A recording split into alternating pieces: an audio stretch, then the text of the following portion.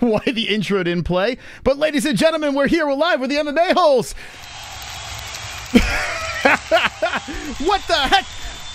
I that, don't know why that happened, but anyway, okay. How you doing, friends? Welcome to the show. UFC 280 is this week. My name is Mystic Moss. I'm here on Wonderful, Wonderful. Wonderful, wonderful. Not sure why the intro didn't play, but don't worry about that. We got a fantastic, fiery show tonight or today uh, planned for you over here. Everyone in the live chat, make sure you smash up that like button and stay wonderful, wonderful. Wonderful, wonderful. De- Deontay Wilder knocked out his opponent. We're going to talk about that. We're going to talk about UFC 288. But tonight, today, whatever time it is by you over there on the interwebs, we got something special for you. First time on the show. I've been meaning to have this man on the show for a while. This man over here comes in at 29 years of age. This man over here comes in at 3 and 2 in the UFC off of a fresh, fast knock uh, submission, 30 seconds in his last fight a couple of weeks ago. Ladies and gentlemen, Introducing to the show, Sodiq Yusuff. Let's go, baby. Thanks, Sodiq. I tell you what, in the six years of doing this, this is the second time the intro decided not to play. Maybe it's going to be a magical day.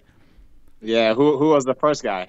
I don't remember. All I know is uh, I think it was actually a contender series guy that we had on, Oh. and I was like, Okay. I was gonna say maybe maybe I was in in a good company. I don't know what the hell. That's the beauty of live streaming, you know. Do you do you live stream? No, not not at all. I try to um get into some like Twitch stuff, but I've I've never been consistent on it. Yeah, it's difficult. It's stressful. It's fun though. Once you get that audience going and interacting live, it's a lot of fun.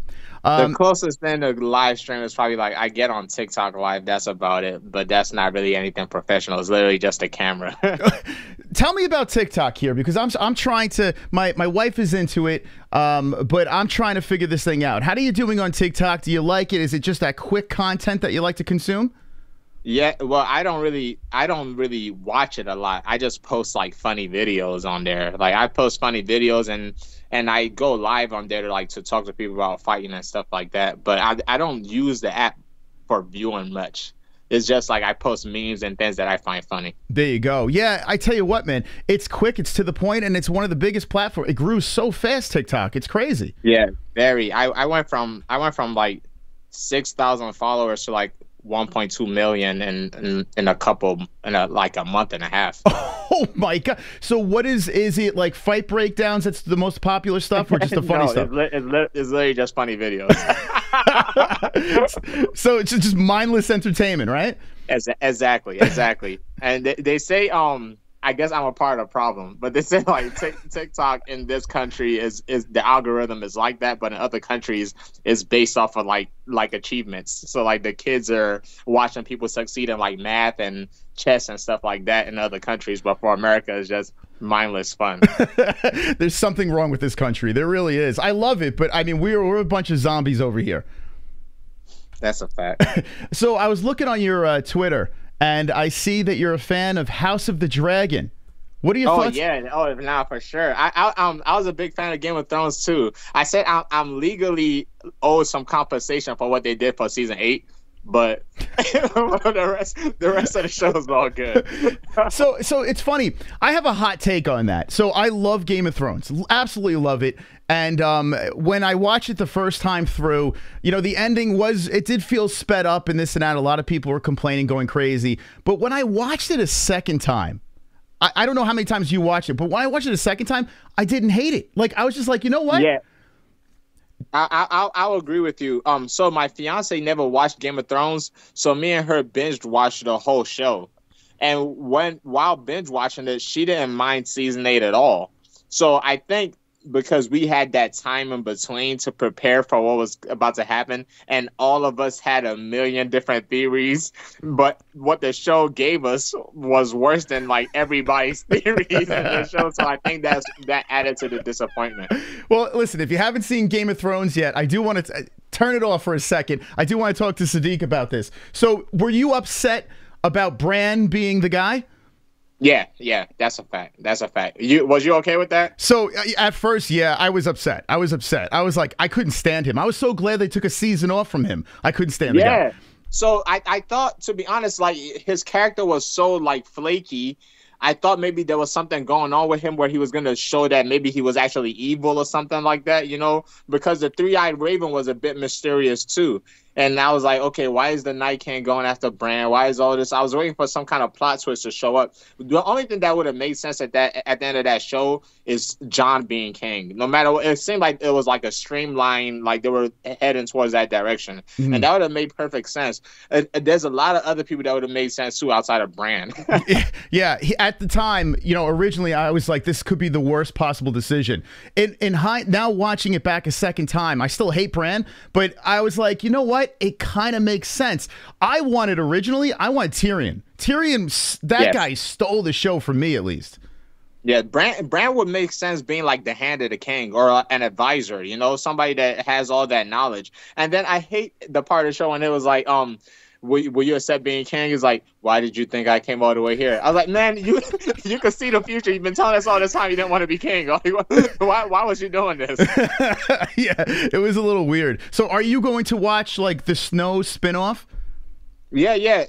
At the end of the day, although season eight was a little bit flaky, one through six is probably the best um seasons of TV history. You know, like it's undeniable. It's probably one of the best shows that ever. Even seven wasn't that bad, but I think seven was was seven when um Gendry ran from from from the from like the other side of the wall all the way back to the wall in like in like in like a day or two hours. It wasn't even a day. He literally just just started running and made it back made it back to send a message to Daenerys. I was like that's when he started saying. That's when he started saying like the show started like messing around a little bit. Season six had Arya getting stabbed in the stomach about ten times and jumping into into into poop water, and she and she was perfectly fine when Khal Drogo died from like a paper cut. yeah. I was like, man, come on, yo. But like I said, it's still undeniable. The show, the, it's a great, it's a great story, you know. The, yeah. And what they're doing with House of Dragon now, like honestly, I, House of Dragon hasn't had a bad episode yet. It's been like the worst episode has been like a nine out of ten.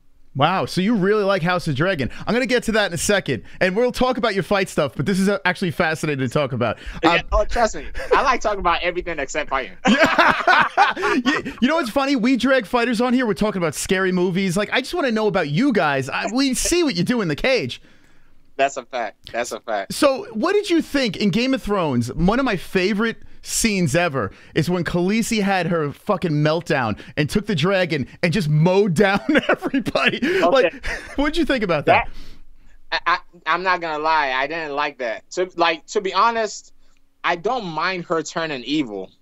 It's just it was so jarring, you know. Like th- I think they could have built that up better. Maybe they had like one more season in between, mm-hmm. but it was so jarring because not only she could have done what she still did, except not kill everybody on her way there. Just fly straight to Cersei and kill her. you know, you know it's like it, it makes no sense. Like you're you're just killing innocent people just to kill innocent people, and there's no um, there's no justification for it, um, plot wise, and there's no justification for it like as a strategy of war. You know, mm-hmm. it's like you're trying to rule these people. Like why are you trying to why why are you burning them all down? Just go to the Red Keep, kill Cersei or anybody that's over there with her and now you're now you're um queen, you know. But I, I don't know, man. That that that's that's weirdness. Like I understand Daenerys has shown signs of being a little bit cruel before, but it was always cruelty towards like bad people, like slave traders and stuff like that. Mm-hmm. You know, it's funny. Like the first time I was jarred, I it, it, hit me. I was like, "Whoa, okay, bitch lost her mind." But I loved visually watching it. I was like, "Holy!" F- I don't think I've ever oh, seen. No yeah, visually, even season eight is a masterpiece. Like, uh, like trust me, they didn't drop acting wise. Um, the way the um the season looked, like all of that, it's all there. The only thing that messed up really was just the plot. Yeah, I think we were spoiled. Like uh, watching yeah, it back. That's a fact. Yeah, they set the bar so high, you know and like um t- compared to other shows season 8 isn't really that bad. Yeah. You know but they set the bar so high like it, it was, it was a letdown. 100% all right we're on the same page over there. I mean i'm in, i'm in the minority because i understand a lot of people don't like the sped up whole thing but you know watching it back i was so into it. I was just like let's trim the fat and just kill everybody. I loved not, it. not, not that we're on not that we're on the subject. They messed up Jaime yeah. Man, I was like, man, come on, yo. It's like one of the greatest scenes in, in TV history was Jaime um in the in the hot tub and he was like, uh, "My name is Jaime. My name is Jaime." When he was explaining to Brienne about why he killed the Mad King, you know, mm-hmm. he was like, "I saved everybody that lives in King's Landing because I didn't want him to blow up everybody. And then as, in season eight, he's like, I don't care about anybody except me and my sister. Yeah. I like, no, it's like your whole origin is because you cared about people, you know? like, yeah. like you, you lost your honor for caring about everybody in the in the in the city. It's like, oh man, man, that's such a letdown. And then and then he he destroyed my girl Brienne. Brienne's like one of my favorite characters on there. Like he hit her with the one night stand and then give, give her the deuces, you know? I was like, man, come on, Jaime. when when they had that intimate moment and I watched it back with my wife, uh, we were we just started laughing. I was like, oh boy, man, this is this is turned into some mess. Yeah. Hey, a, a, good scene from season eight though was when Brienne got knighted. I was like, that was cool. That was super oh. cool. Yeah, the the night before that battle um it, that the whole that whole like sh- uh, episode was fantastic to me because it was just that build up right like everyone was just kind of like okay here's where my mind's at here's what you just kind of got and then you had the night battle everyone complained that it was so fucking dark did it bother you yeah yeah, well, I think it, it depends what you watched it on because um on my TV it was it was dark, but then when I watched it like on my phone, it wasn't um it wasn't a problem. I guess because I could like brighten up my phone, mm-hmm. so it wasn't a problem watching on the phone. But on the TV, it was definitely dark. But you see, th- this is a problem with season eight. Every time you remember something cool, they remember something not cool. You know, like, something, like something out, completely out of the way. Beric Dondarrion. Yeah. He, di- he died and came back six times. You're like, okay, there has to be a reason for him to keep coming back. And then he just dies in the library. I'm like, why did he keep coming back? It's like, there, there was literally nothing. Like, I was like, why do y'all keep bringing this guy back? Okay, he's gonna do something cool. I thought maybe he was gonna give up his life to bring somebody else back to life. He literally just died in the library. Like I was like, what the hell? and then Arya kills the Night King. Why Arya? Out of everybody, y'all could have picked why Arya. Like, where's the connection? You know, it's funny. I was in the minority with this too. I'm. I, I, love bad guys. I like. I like the good guys dying. I'm a weirdo like that. When and by the way, if you're just jumping in, we're talking Game of Thrones. If you haven't seen it, tune out. Come back in a couple they, of minutes. They, they tune in to hear about UFC 280. They, they, showed, they showed up. These guys are talking about Game of Thrones.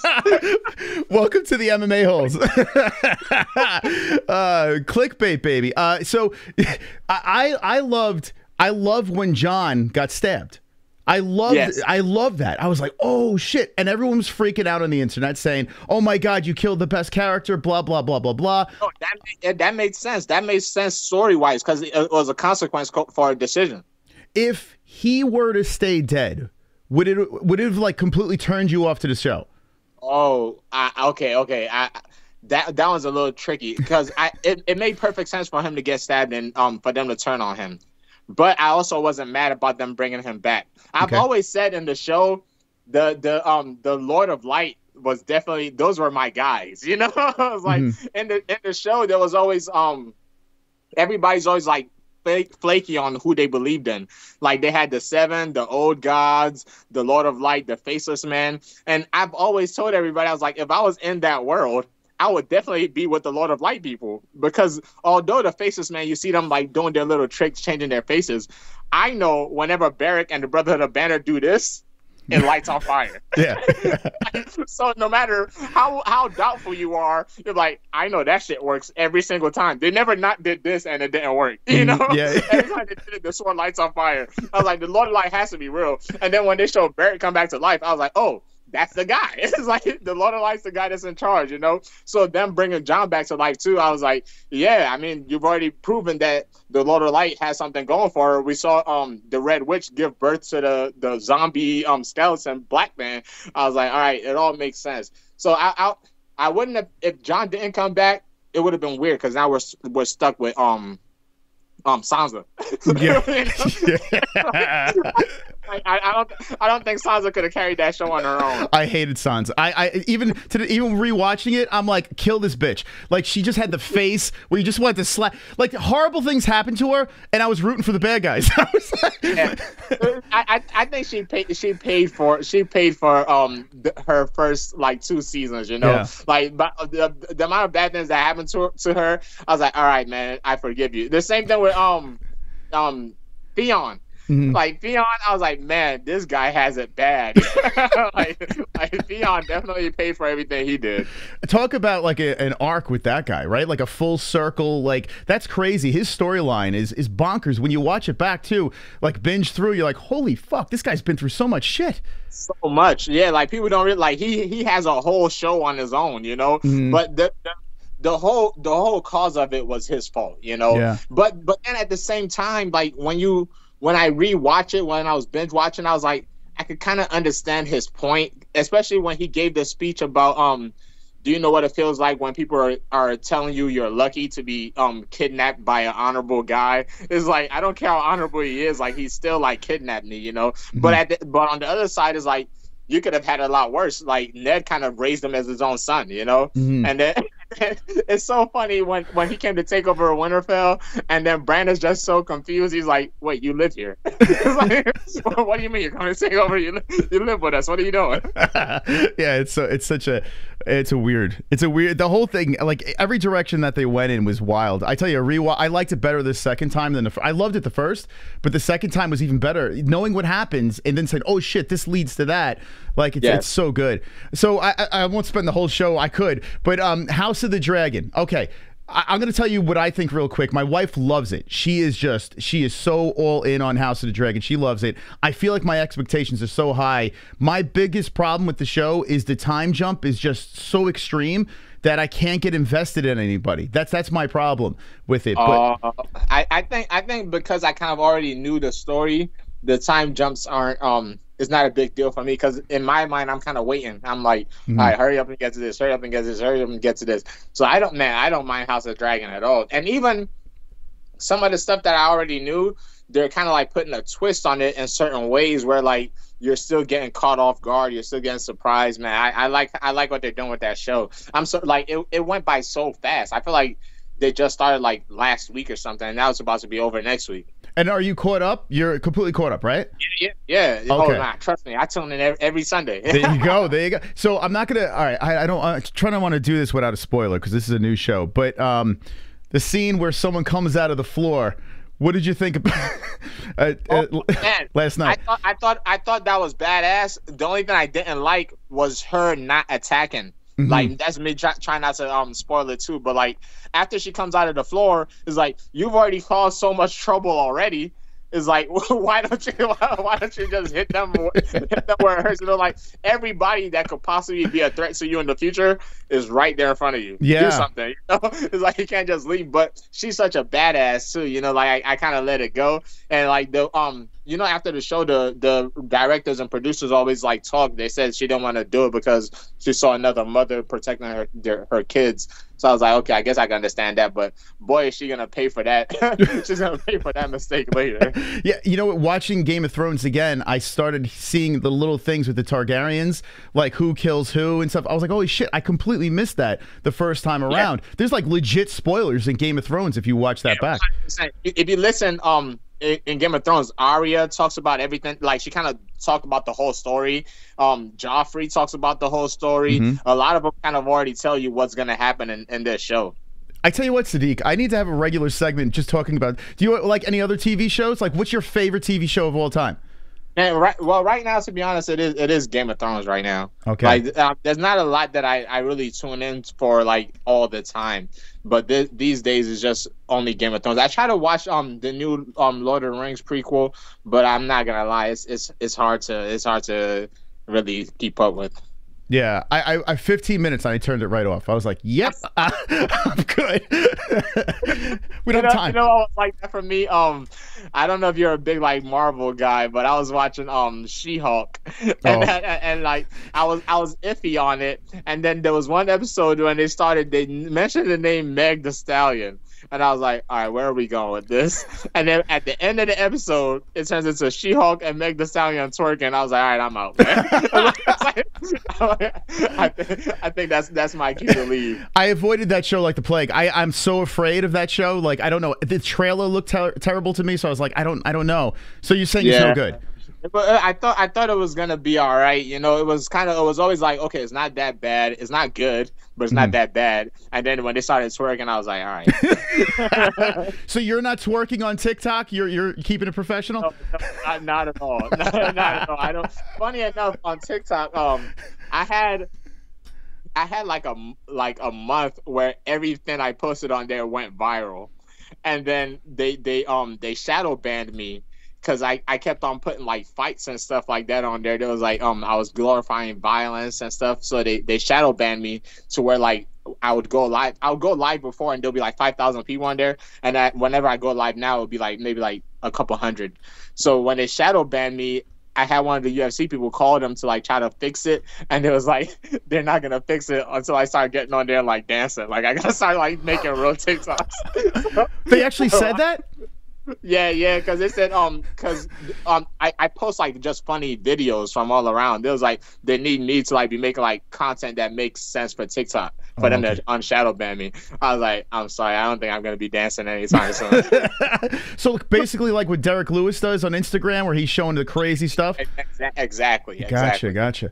So now here, you, look at you, man. You're the UFC fighter over here. You're you're you're a ranked fighter and uh, you're coming off this big win 30 seconds. Like how does it feel to be at this situation this stage of the game? I mean one second you're in the contender series next thing you know you, now you're like a ufc veteran over here and you're coming off a big quick victory.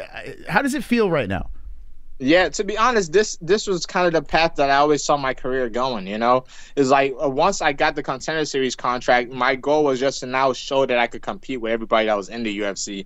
And in my first two fights, I kind of showed that. Then the goal was to become ranked, and now the goal is to just get past that top, um, get through that top 10 you know just to get into single digits there's always one one step at a time one step at a time so i can work my way to that title mm-hmm. the the thing is i think get when I was a kid, I always said, "Hey, one day I'm gonna fight in the UFC. One day I'm gonna fight in the UFC." But once I achieved that, then I was like, "All right, now I gotta set new goals." And in this stage of the game, everybody's so good.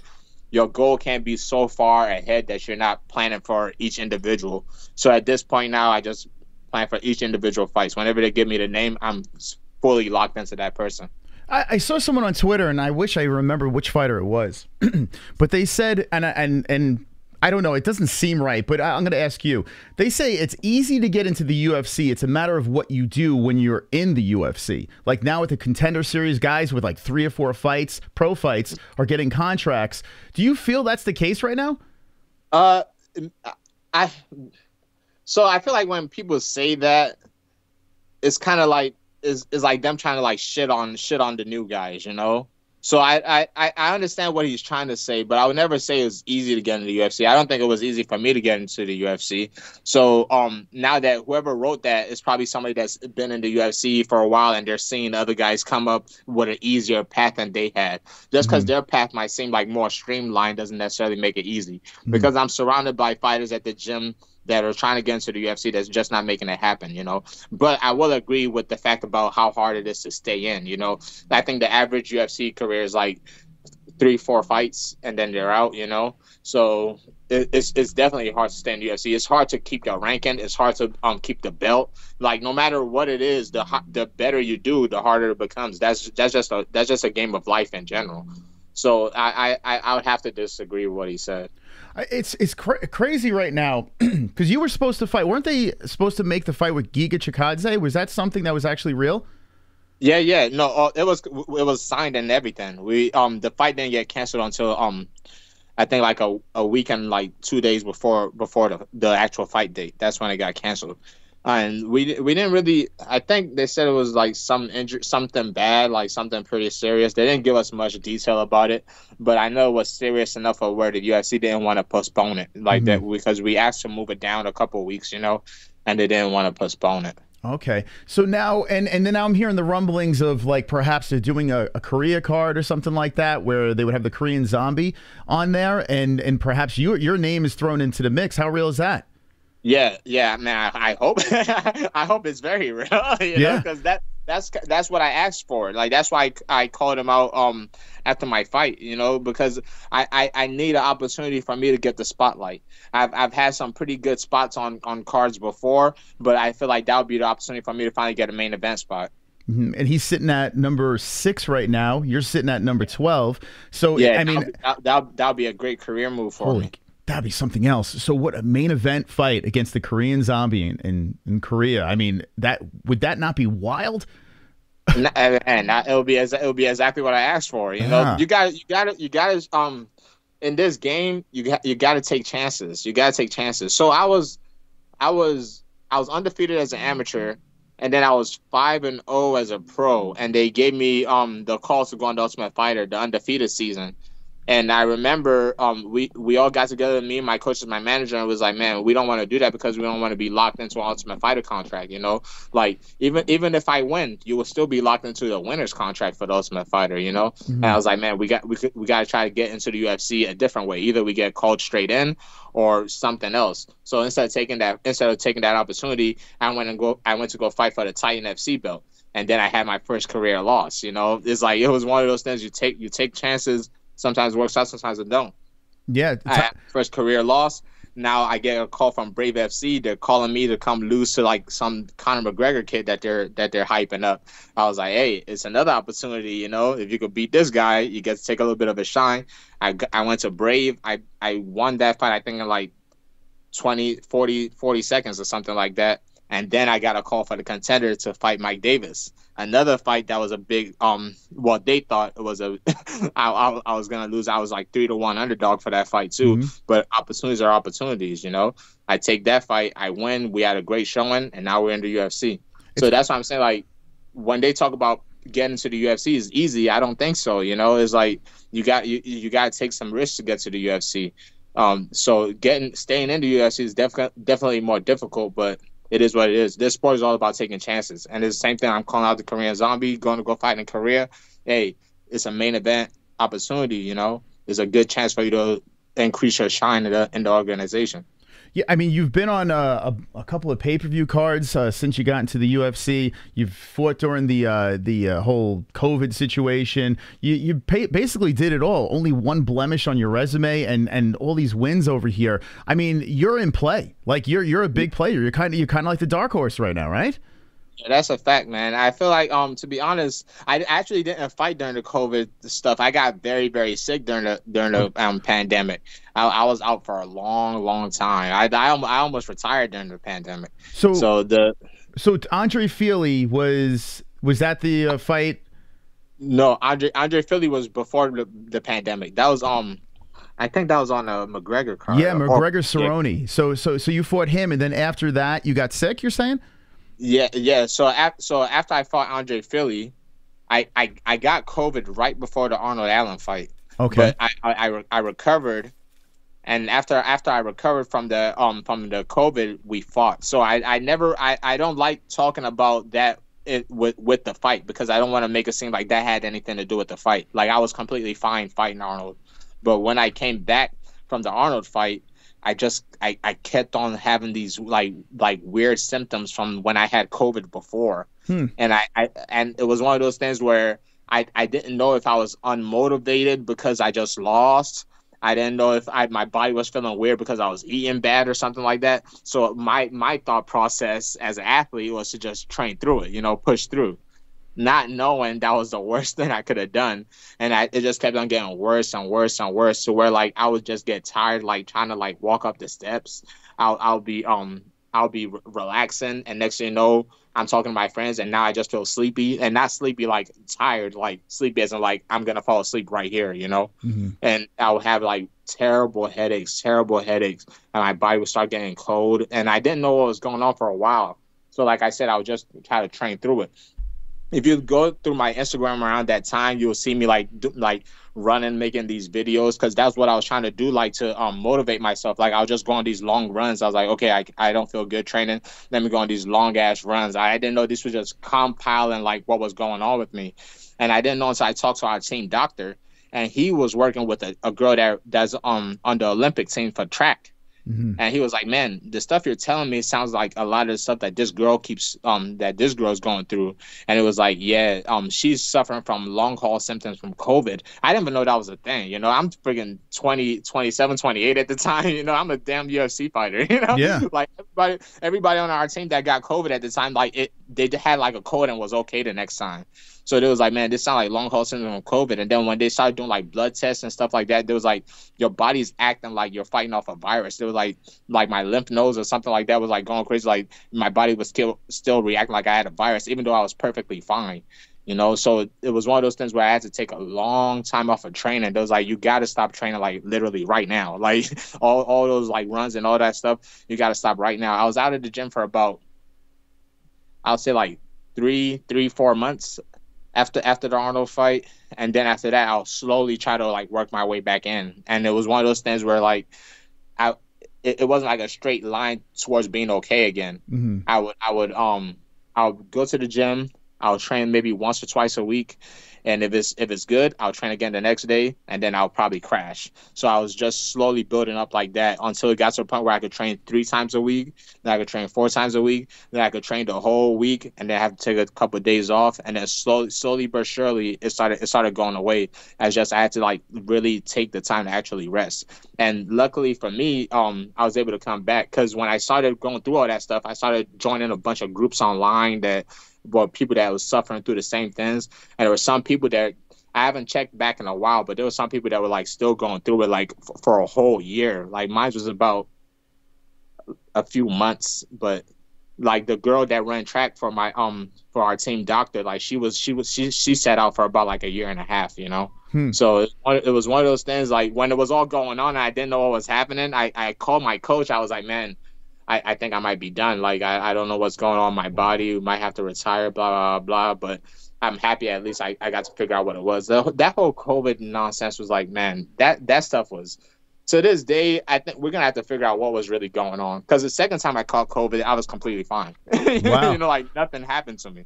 You so know, I don't, I don't, I don't, I don't know what was going on. It's funny because just by you telling that story, the first person I thought of was Amanda Nunes when she fought uh, Pena the first time. That was right after she was having those COVID problems and she lost.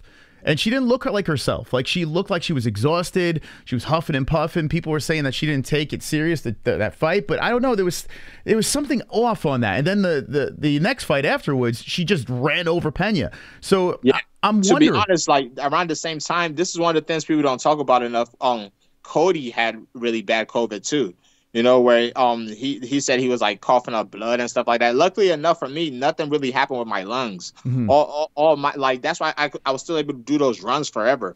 All yeah. my stuff was just like I would, the worst part of it was literally just the fatigue. Like I would just be talking. I'll be talking to people, and next you know, it's like I have to like fall asleep like right there where, where I'm at, you know, and like I'll get winded like going up the steps, but it wasn't like my lungs wasn't hurting or anything like that. Mm-hmm. Like I could I could still train, be perfectly okay. When I came back, now then it was hard. I man, I, I, I cried on the mats a few times, you know, because wow. I like my coach was putting me against like like white belts and stuff like that to um just just to get me going. You know, I, I can only do like about like four minutes a round, you know, or like maybe a three minute rounds, and then I'm getting beat up by white belts.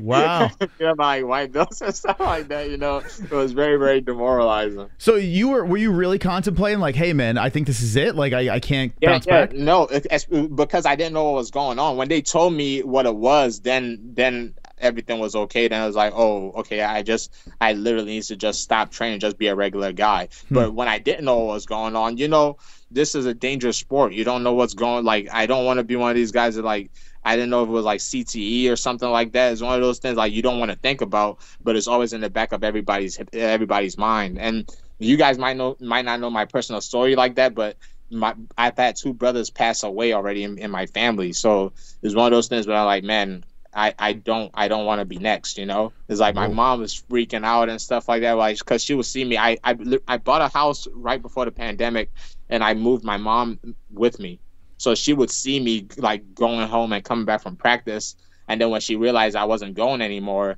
because I didn't want to tell her, you know. I didn't want to yeah. tell her. She see me like just sitting at home, and like I finally like had to tell him the truth, and like it was so obvious, you know, because like I would just be dragging around around the house. You could tell there was something wrong. So mm-hmm. it was it was one of those things. It was it was very very scary times. I'm glad I'm glad it's behind me now. I bet. And and by the way, I see your beautiful mom over here on Instagram. She's dancing away. It looks like she makes her own clothing. Is that what she does? Yeah, yeah. So my my sister actually makes most of those clothes, and like she sends them from Nigeria to my mom, and my mom sells them. You know, it's just something that she does on the side. Like I really want her to retire. You know, so she she's um she wants to work for herself. Like she still has a regular job now, but God willing, one day I'll be able to retire her. Uh, that's the man. What an awesome story. So you see your brothers, and I, I just I'll dabble into it just a little bit here, if you don't mind me asking. How did they pass? Yeah, so the first one he died from malaria, and that was literally before my UFC debut. Like if you um my UFC debut was man, that was a that was a hell of a story too, because the week before I flew out to Australia, I fought Suman Mokhtarian. The week before I flew out to Australia, uh, damn, how did I find out? Oh, I got a call. I got a call from my sister in Nigeria, and she she she was just like talking to me about um somebody's um um it's like my brother is finally gone like they're gonna take him off life support listen this is me not knowing anything like i'm just like i'm chilling and she was like okay they're gonna he, she called me she was like hey they're gonna take um junior off life support blah blah i'm like they're gonna do what? Like uh yeah they're gonna take him off life support. So i'm still confused. At this time my mom i didn't um my mom didn't move in with me yet. She still lived in an apartment. So then i went over to go visit her and like she's surrounded by a bunch of like um family friends and stuff and my brother and like they're crying and stuff like that. I didn't know my brother was sick. Apparently he'd been in the hospital for like a few days before before um they called me. And my mom was like yeah we know you're about to make your ufc debut. We didn't want to distract um we didn't want to distract you from the fight. Like we didn't want you to be sad blah blah blah and then i was like yeah but um now he's passed away. I was like damn like it's a tricky situation because you have to you have to kind of like keep that stuff bottled up.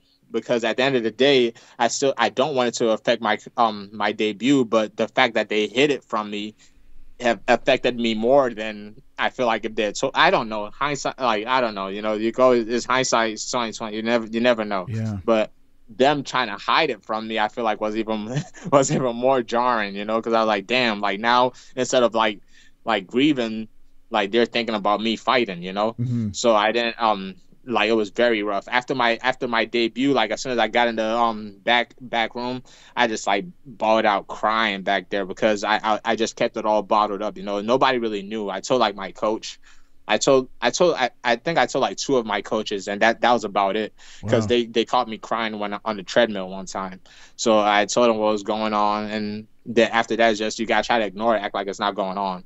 And then the second, my second brother, he passed away not long after that from from drugs. You know, so it's it's one of those things. Is it, it's it's rough. It's rough. And to be honest, I haven't been back to Nigeria since my second brother passed, Mhm. and th- that's because he's the one that always picked us up from the airport.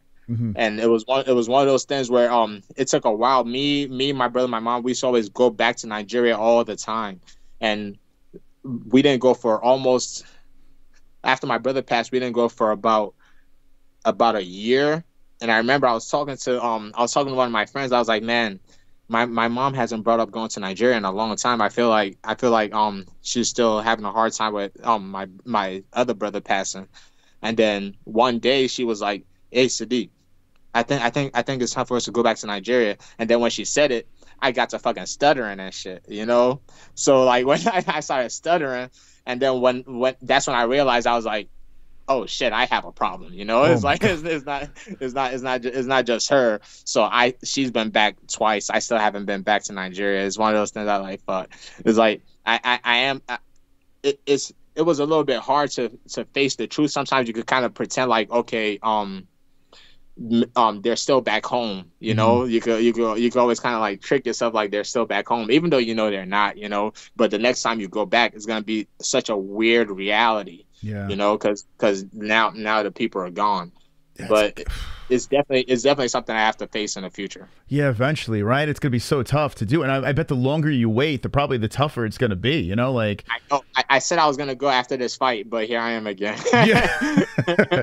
you know, it's funny you're bringing up Nigeria, and I think of a, a friend of the show, uh, Will Harris, uh, Anatomy of a Fighter, over there. Yes. you, I, he went with Kamaru Usman and did that whole documentary in Nigeria. Did you get a chance to check that out? No, I haven't, I haven't watched it. I haven't watched it. Oh, okay. It's it's it's fascinating. It really is. It really like it shows Kamaru going over there and and he's you know trying to get you know MMA in Nigeria because you got so much talent over there, but it's just not like not like over here. And these athletes that they were showing in, in like their little section of the world, I mean, holy crap. You guys, you're like a different breed. Like it is wild said, especially like Nigerians, like it's such a hustle, hustle, like struggle kind of culture, you know, where like th- those kind of people, all they need now is just the knowledge behind the techniques, you mm-hmm. know, because that's really what MMA is at the end of the day, is just dealing with adversity. Mm-hmm. Like I, I was, I've never, especially coming up, I was never the best guy in the room but I always feel like I had the best work ethic in the room. You know, I was I was always a good um a good nail which is something I took pride in. You know, everybody's a good hammer, not everybody's a good nail, and that that doesn't mean I'm happy getting fucked up. It just means I'm, I'm I'm I'm able to deal with the struggle. You know, that's why I always say like my people are built for struggle. And I feel like that's something that that um resonates with not even just Nigerians in general, but just immigrants. You know, mm. especially um immigrants that that travel to a different country where they see like, oh, there's value here. It's harder for people that are born in certain places to see the value because you're surrounded by it your whole life. It's not your fault. Yeah. But when you come from somewhere else that doesn't have as much resources,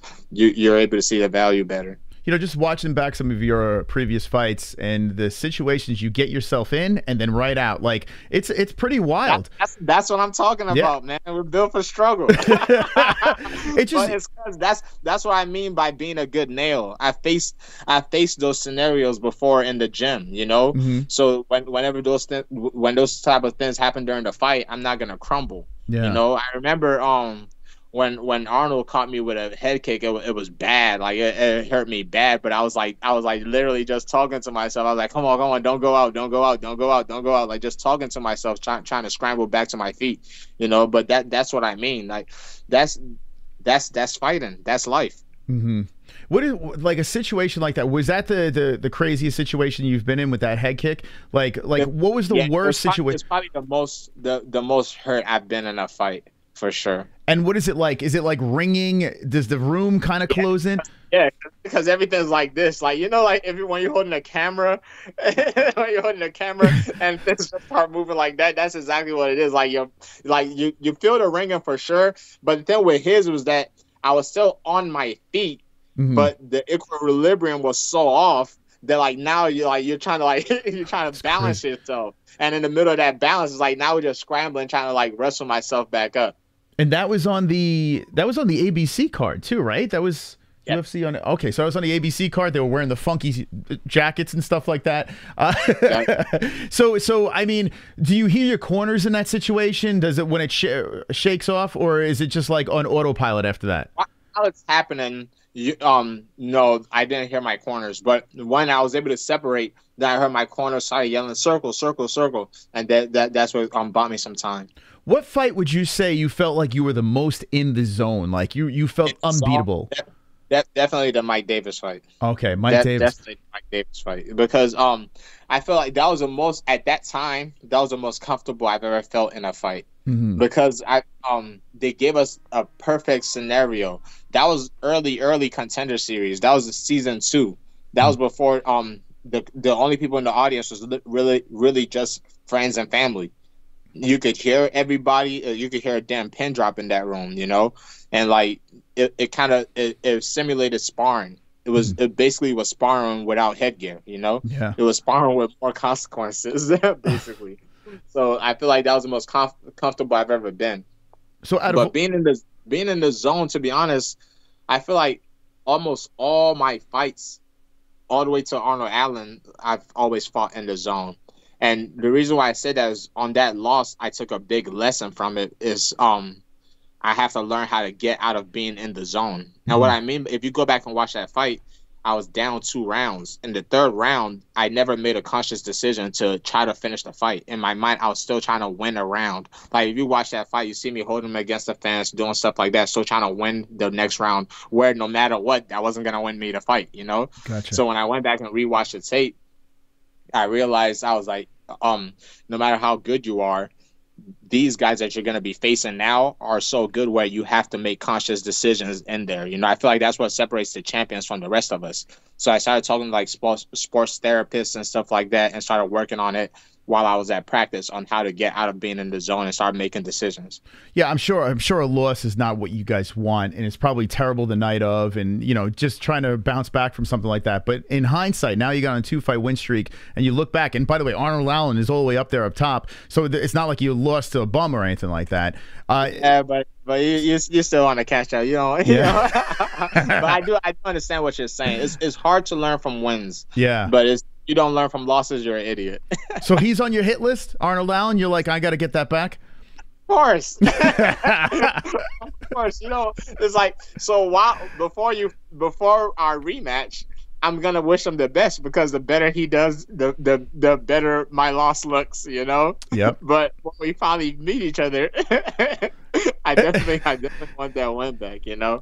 Do you think he Shout beats Arnold though? He's a he's a good guy. Guy, something else. Do you think he beats Kattar?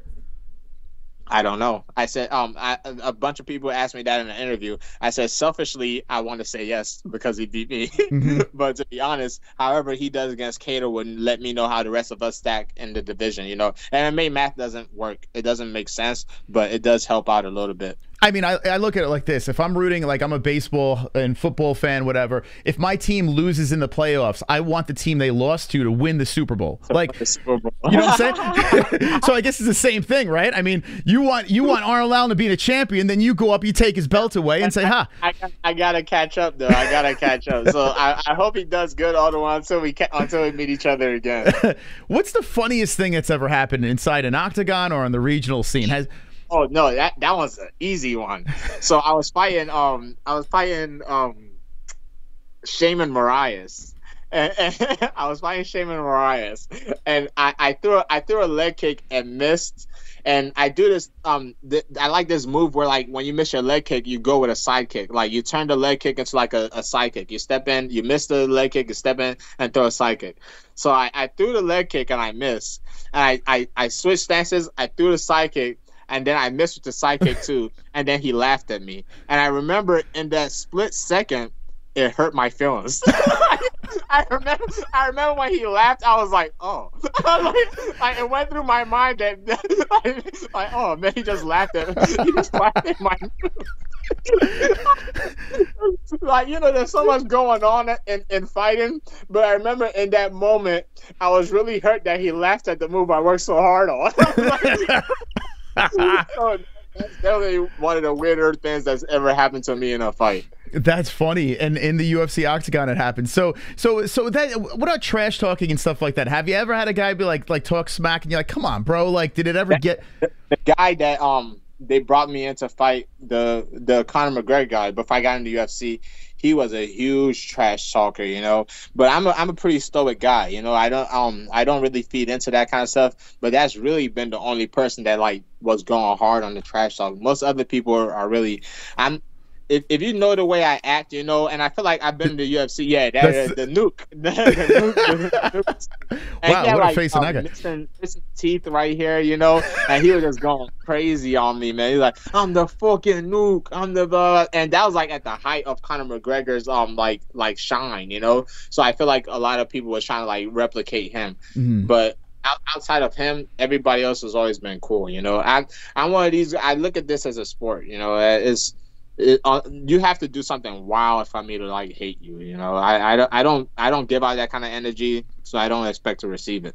Do you do you believe in pre-fight like getting into someone's head though? Whether you don't have to do trash talking, or I mean, some way is that a thing? I, I the only reason why I want to say no is because the moment I I hear I'm fighting somebody you're not gonna get into my head any worse than that. Mm. like I know these guys. I'm not one of these guys that's gonna lie to you about saying, "Oh, he's not in my head." Yeah. Every fighter I ever fought is in my head. like, they can't get in my head more. it's like I think about them before I go to bed, and I think about them when I wake up.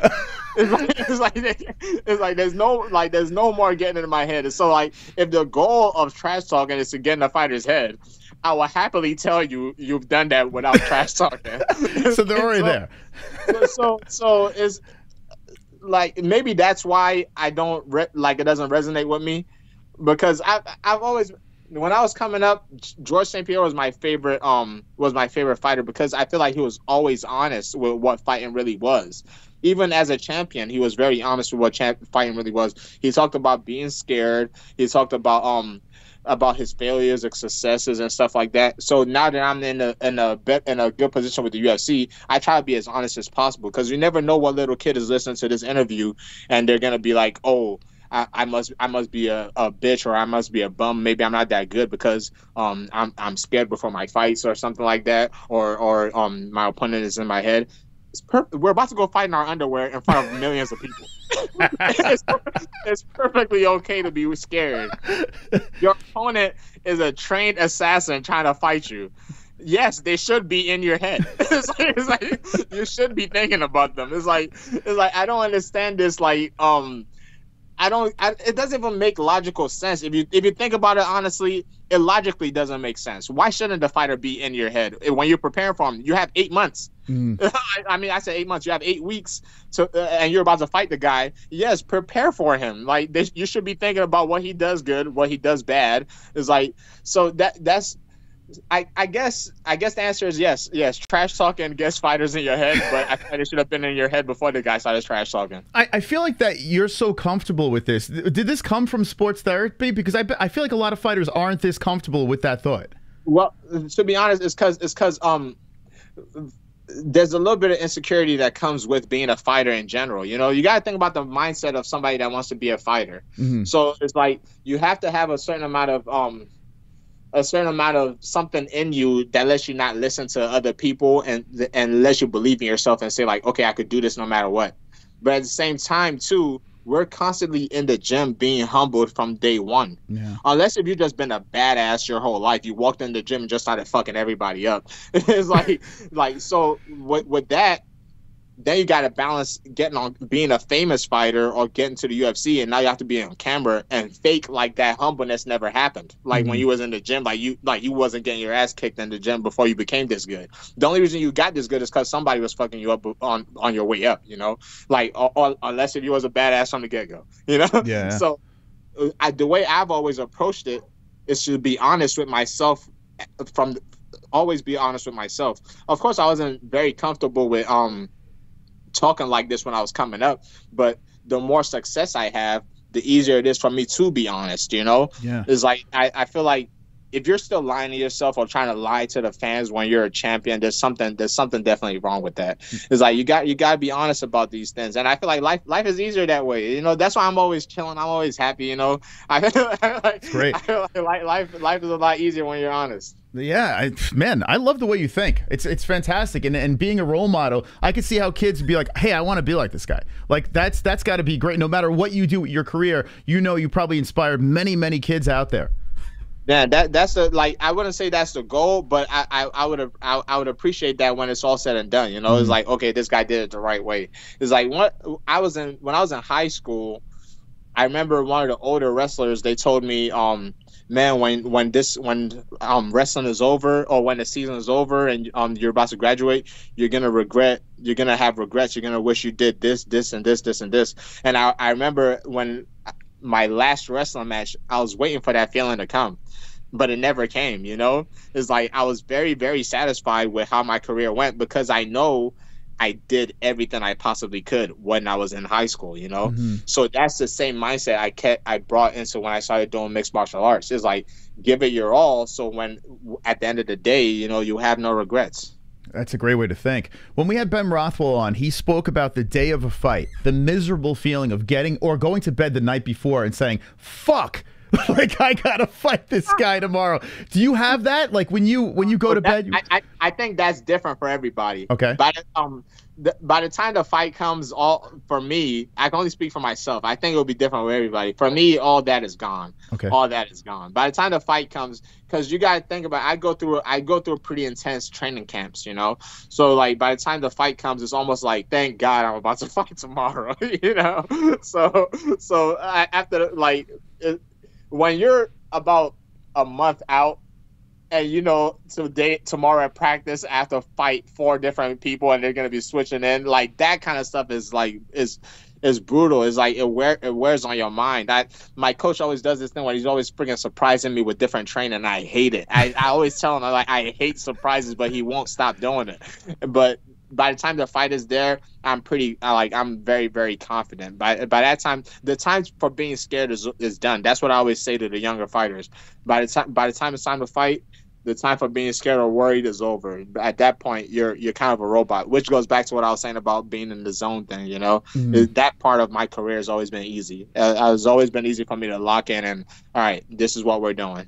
There you go. And and do you do you dream about like I mean now you're ranked, you're, you're getting closer and closer to this massive opportunity. Do you have like these dreams of throwing the belt over your shoulder, hopping on a plane, going to Nigeria, getting off, and the parade starts? You know what's funny? I, I, I, I see. This is what we're talking about being honest with yourself. Uh, I feel like a past self of me would have just lied and said yes. Okay. But to be honest, is like I. I, I I haven't had dreams like that, but when I was a kid, I used to have dreams about being in the UFC all the time. And the funny thing is, I used to have these vivid dreams of being in the UFC where like it's not even me fighting; it'll be dreams of me in the hotel room, like like getting ready for fight week, like stuff like that. Like me running into Jeremy Stephens in the hotel room, like trying not like trying not to like have conflict and stuff like that, you know.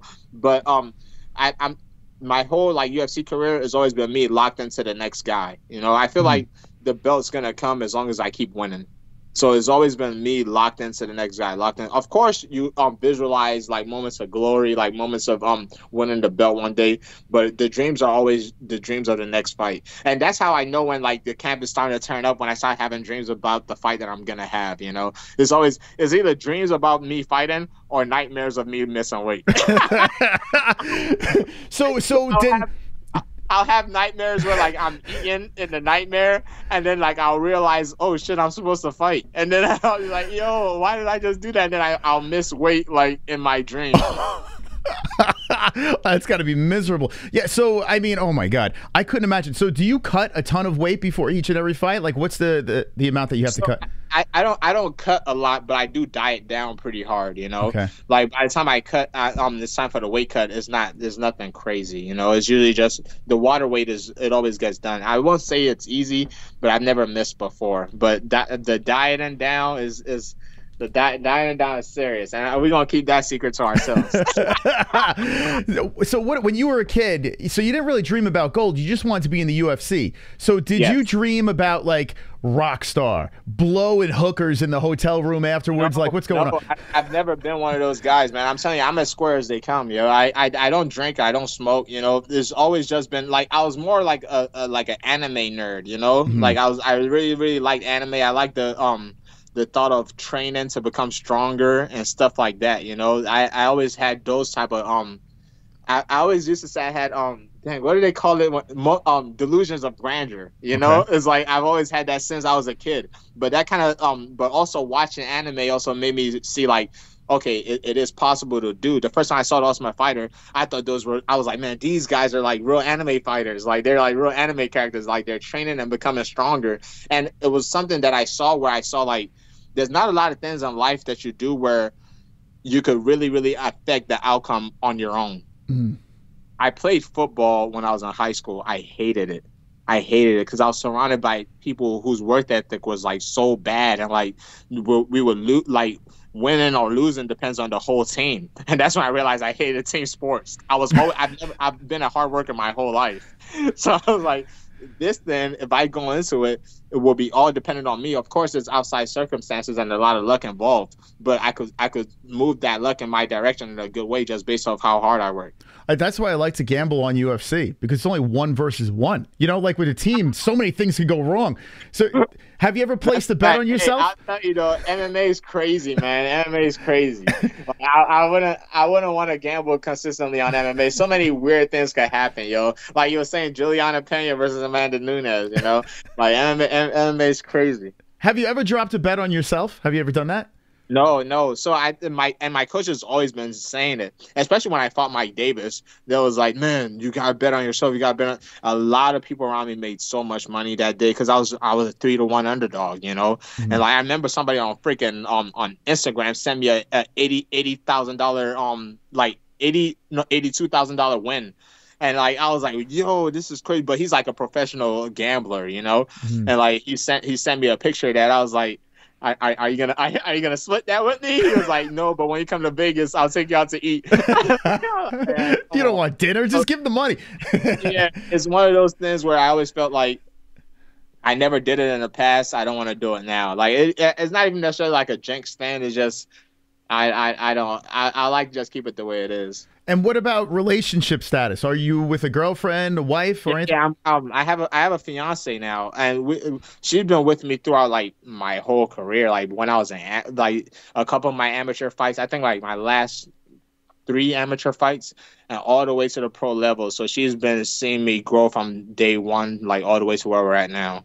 You know what's funny? I noticed with a lot of the the top tier UFC fighters out there, they have a rock. They have they have that other half on the other side uh, that supports it's, them. it's it's important, man. It's important because a lot of a lot of people, um, not even just people, a lot of women won't, they won't, they don't understand what comes with this life, you know. Mm. But the ones that are able to find somebody early and that woman's able to stay stay um consistent with you it's hard to break that. You know you you value everything that they've done. Because i before she used to make the joke that she was like my weekend girlfriend which was true. Because i would spend the whole week literally training and i would see her maybe on a saturday or a sunday. And this was like for like the first like two years of our relationship, you know, until I started getting a little bit more comfortable, a little bit more um steady income going on, you know.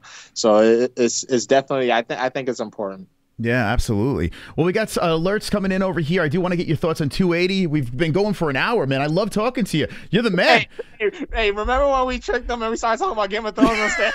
I tell you what, I could do a whole show on that shit. So if you ever want to come back and talk TV, I've been talking about Game of Thrones. I came to hear about UFC 280. they're all tuning in like, what the fuck is this? Uh, here's an alert from the chat. Uh, this is from Wonderful, wonderful. D Rest. Staten rules just like Sodiq. Staten rules. So I guess Staten Island rules just like you, Sodiq. What do you think about that? Oh, I, I I I appreciate it. I've never been to Staten Island before, but hey, if they rule, I'll take your word for it. we got something else coming in here. This is. Oh, oh, we got a little song coming on here. Yeah. Here we go. Come on, get loud, MMA holes in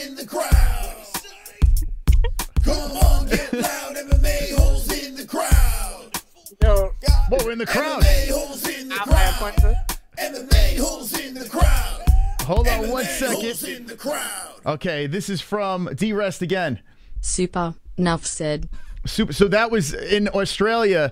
Uh, there was an event happening, and someone made our sign with a cardboard. Yeah. it's just I don't know. Anyway, where was the? I have a I have a funny story with Al Iaquinta. Um, this was like back when I was still like just a regular fan, and you I don't I don't know how long you've been watching MMA. Uh, he had like a real controversial win against um uh, against Jorge. yeah. like real back in the day. And I remember I, that was one of like the first couple MMA fights I've ever, I mean, UFC fights I've watched like in person. I was in the audience and like, and, and when he got the win, it was like, boo, boo, boo. And then he turns and he literally stares at my section. And like he's like, "Are you booing me?" and like I swear he was looking like it's funny. He probably doesn't even notice it was literally me and like two other guys behind me. it's like, you booing me? I work my fucking ass off. I work my fucking ass off. I was like, holy shit, Iaquinta's about to fuck me up. so if you go back and go watch that fight, the section he's yelling at is like me and like two white guys behind me. So like, I wasn't booing as much as they was. but, but I was in the vicinity. Oh my god, I remember that clear as day. That fight, that was crazy. We had um a couple of his teammates come on the show too, and he was talking. They were talking about that. They said it was so loud in there, and his response was so funny. Did you think he won, or did you think he lost? When I watched it in real life, I thought he lost. But when I watched it back on TV, I definitely thought he won. Like when you watch when you watch it back on TV, you could see how the judges gave him the fight. In real life, though, I uh, we we thought he um Jorge got robbed bad. But I remember that same week I watched it again on TV and I was like, oh, this is actually it wasn't actually that bad. Hmm. I gotta rewatch it because I remember in real time I thought they got it wrong too. But I, I'm I'm a sucker for Al and anyone from Law MMA. We've we've uh, become friends with them over there. And well, speaking of Law MMA, Aljamain Sterling fighting at UFC 280, defending the belt. What are your thoughts on that? Oh man, I I I hope Aljamain gets that W, man. I I I will always pick against Dillashaw. so I, I I was doing an interview um yesterday, and I was like, if you find like my old interviews, you will see I was like the biggest Dillashaw fan ever. I used to hype him up so so so much, and then I found out he was a cheater, and and I turned into a scorned ex girlfriend. so yeah, I hope Aljamain gets it done. It's funny. I had a bunch of people like that had other shows would message me and say, "Yo, this guy's on roids," and and they're like, "Look at his nipples," and, and I was like, "No, no, not TJ." I, I didn't. I refused to believe it. And then when it came out, as a fighter, um, like I think a lot of people looked up to him just because of like um his his rise up. He even beat one of like my co- like my teammates, um, um Mike Easton. Like this was back when before I was fighting, and I remember him beating Mike. And like even with that, I was like, man, I still I'm still a big fan of this guy. You know, like his his his pace in the fights. The way he carried himself in the fights, you know, I was a really, really big fan, you know. So, but like, when he when they found out he was a cheater, I remember Cody almost um ratted him out and was like, "You taught all of us how to cheat." I was like, uh, "Cody, you're snitching on yourself." Like- I, I remember after that, I was like, "Ah, you got you got to write him off, man." This sport is very um is very dangerous, man. A lot of a lot of stuff, a lot of stuff that you fans don't see, or like the people that don't fight, you guys don't see it and to to cheat in something like this is like it's pretty fucked up. Like I'm not gonna lie, I understand making mistakes. Like I saw um what was going on with Bobby Green. Like that kind of stuff, I completely understand. If you take something by accident or you just didn't know like this this is going on, but EPO is a whole different level of cheating. You know you're doing something wrong. like that, that's not reg- that's not regular cheating right there. You know that's that's some that's some advanced level stuff right there. So I, I also saw you got um you had a um the poster of um Deontay Wilder on here. And I remember him talking about wanting to kill somebody in the cage before, but the way he reacted to the loss, um, I mean not the loss, the way he reacted to the press conference a couple of days, uh, yesterday, is a whole completely different guy, you know yeah, and that comes from losing. You start seeing the consequences of what really goes on. The fact the fans don't see the the um the hospital visits and stuff like that, or the weeks of broken bones trying to heal, like seeing your family, like headaches, little things like that, or they don't get to see the older fighters at the gym that's been through too many wars, you know. So that's that's kind of stuff that makes cheating in this sport so much more fucked up than any other sport. If you're taking steroids to hit a baseball faster, I, I couldn't care less. yeah. I, but, but if you're taking steroids and you're throwing spin kicks and blinding Michael Bisping, it's like you're kind of like you're a different you're a different piece of shit, you know? I don't blame you for not liking guys that, that use that stuff. Uh, you know, it's funny you mentioned Bobby Green. We had a little fun with it. Like I feel bad for the guy, but at the same time, he did a, uh, an Instagram live or one of those live streams where he shows his cabinet, and it was hilarious. It was just every. very- it's- Yeah, it was every pill that you could find. And I'm like, bro, what are you doing? Don't show that. like he was just taking everything, just uh, not like on purpose to cheat. It didn't seem like that Yeah. at least. But it was just Yeah. the, the cabinet was hilarious. I understand. Most most fighters, a lot of us like we do take like vitamins and supplements like that, just because it's, it's a grueling sport, you know. But that's why I say I could kind of understand him. Like me, every time they send me something, I um I remember Jeff Novitzky ran into me. He's like, "Hey, Sodiq, the man of a million questions." It's like because that's kind of what you got to do. You gotta you gotta ask him a million questions because you never know like what could get you in trouble. That's why I don't I, I don't blame anybody that accidentally takes something and they get in trouble for that. But you're not gonna accidentally take EPO. Yeah. Well, all right. I'm going to throw a couple of guys at you real quick. Um, give me a rapid fire answer. Do you think they're on steroids? Okay, ready?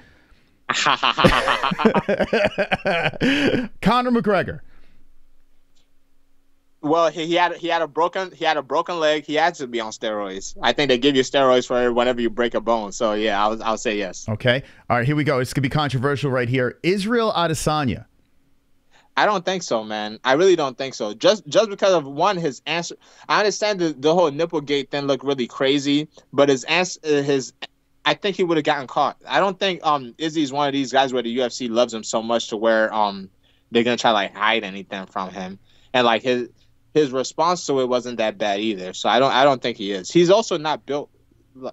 I understand it doesn't um it doesn't always work out like that, but I'm not very knowledgeable on steroids. I know like EPO and stuff that help you for stamina, but I feel like the type of stuff that gives you like big nipples and stuff like that's for like bodybuilding. But Mhm. correct me if I'm wrong. Yeah, I mean he's passed his USADA test, all this stuff. Everyone, everyone doesn't like a winner, so they just keep on finding things. But the That's droopy fact, nipple, especially especially with somebody like Izzy that um that's like braggadocious. You know? yeah, yeah. All right, how, one more I'll give you. Kamaru Usman. Oh, they, they be trying to kill Kamaru. You're asking the wrong Nigerian, you know? I'm gonna say no to no, no to all of them. I, I'm with you though. I've defended Kamaru. Izzy, I had a little fun with because the nipple was like pizza hanging off of his chest, but I stopped with that. But Kamaru, I think is clean. I maybe I'm crazy. like that since college. And to be honest, people don't want to believe it. I I will show you m- many of my cousins that don't do anything that kind of look like Kamaru. Yeah, yeah. I, I, I believe that certain people just genetically have it. Like Chris Curtis, for, for some he came on the show a couple of times, and he says he doesn't lift weights, and the dude's got an arm like the size of my head. I don't lift weights either, and people always think people always think I lift weights. I I've tried lifting weights one time and I gained like like six pounds in like two weeks. so I was like, all right, let's put this down. So what do you do? A lot of conditioning and and all all conditioning, all conditioning and training. The um when I've had um like muscle imbalance problems, I'll work on like my hamstrings and stuff like that. But it's not really lifting weights. It's literally just doing physical therapy. Okay, there you go. We got a couple of more alerts over here. I'm gonna try to wrap this up here for you. We got the Joker Wonderful. coming in. Joker's got something to say.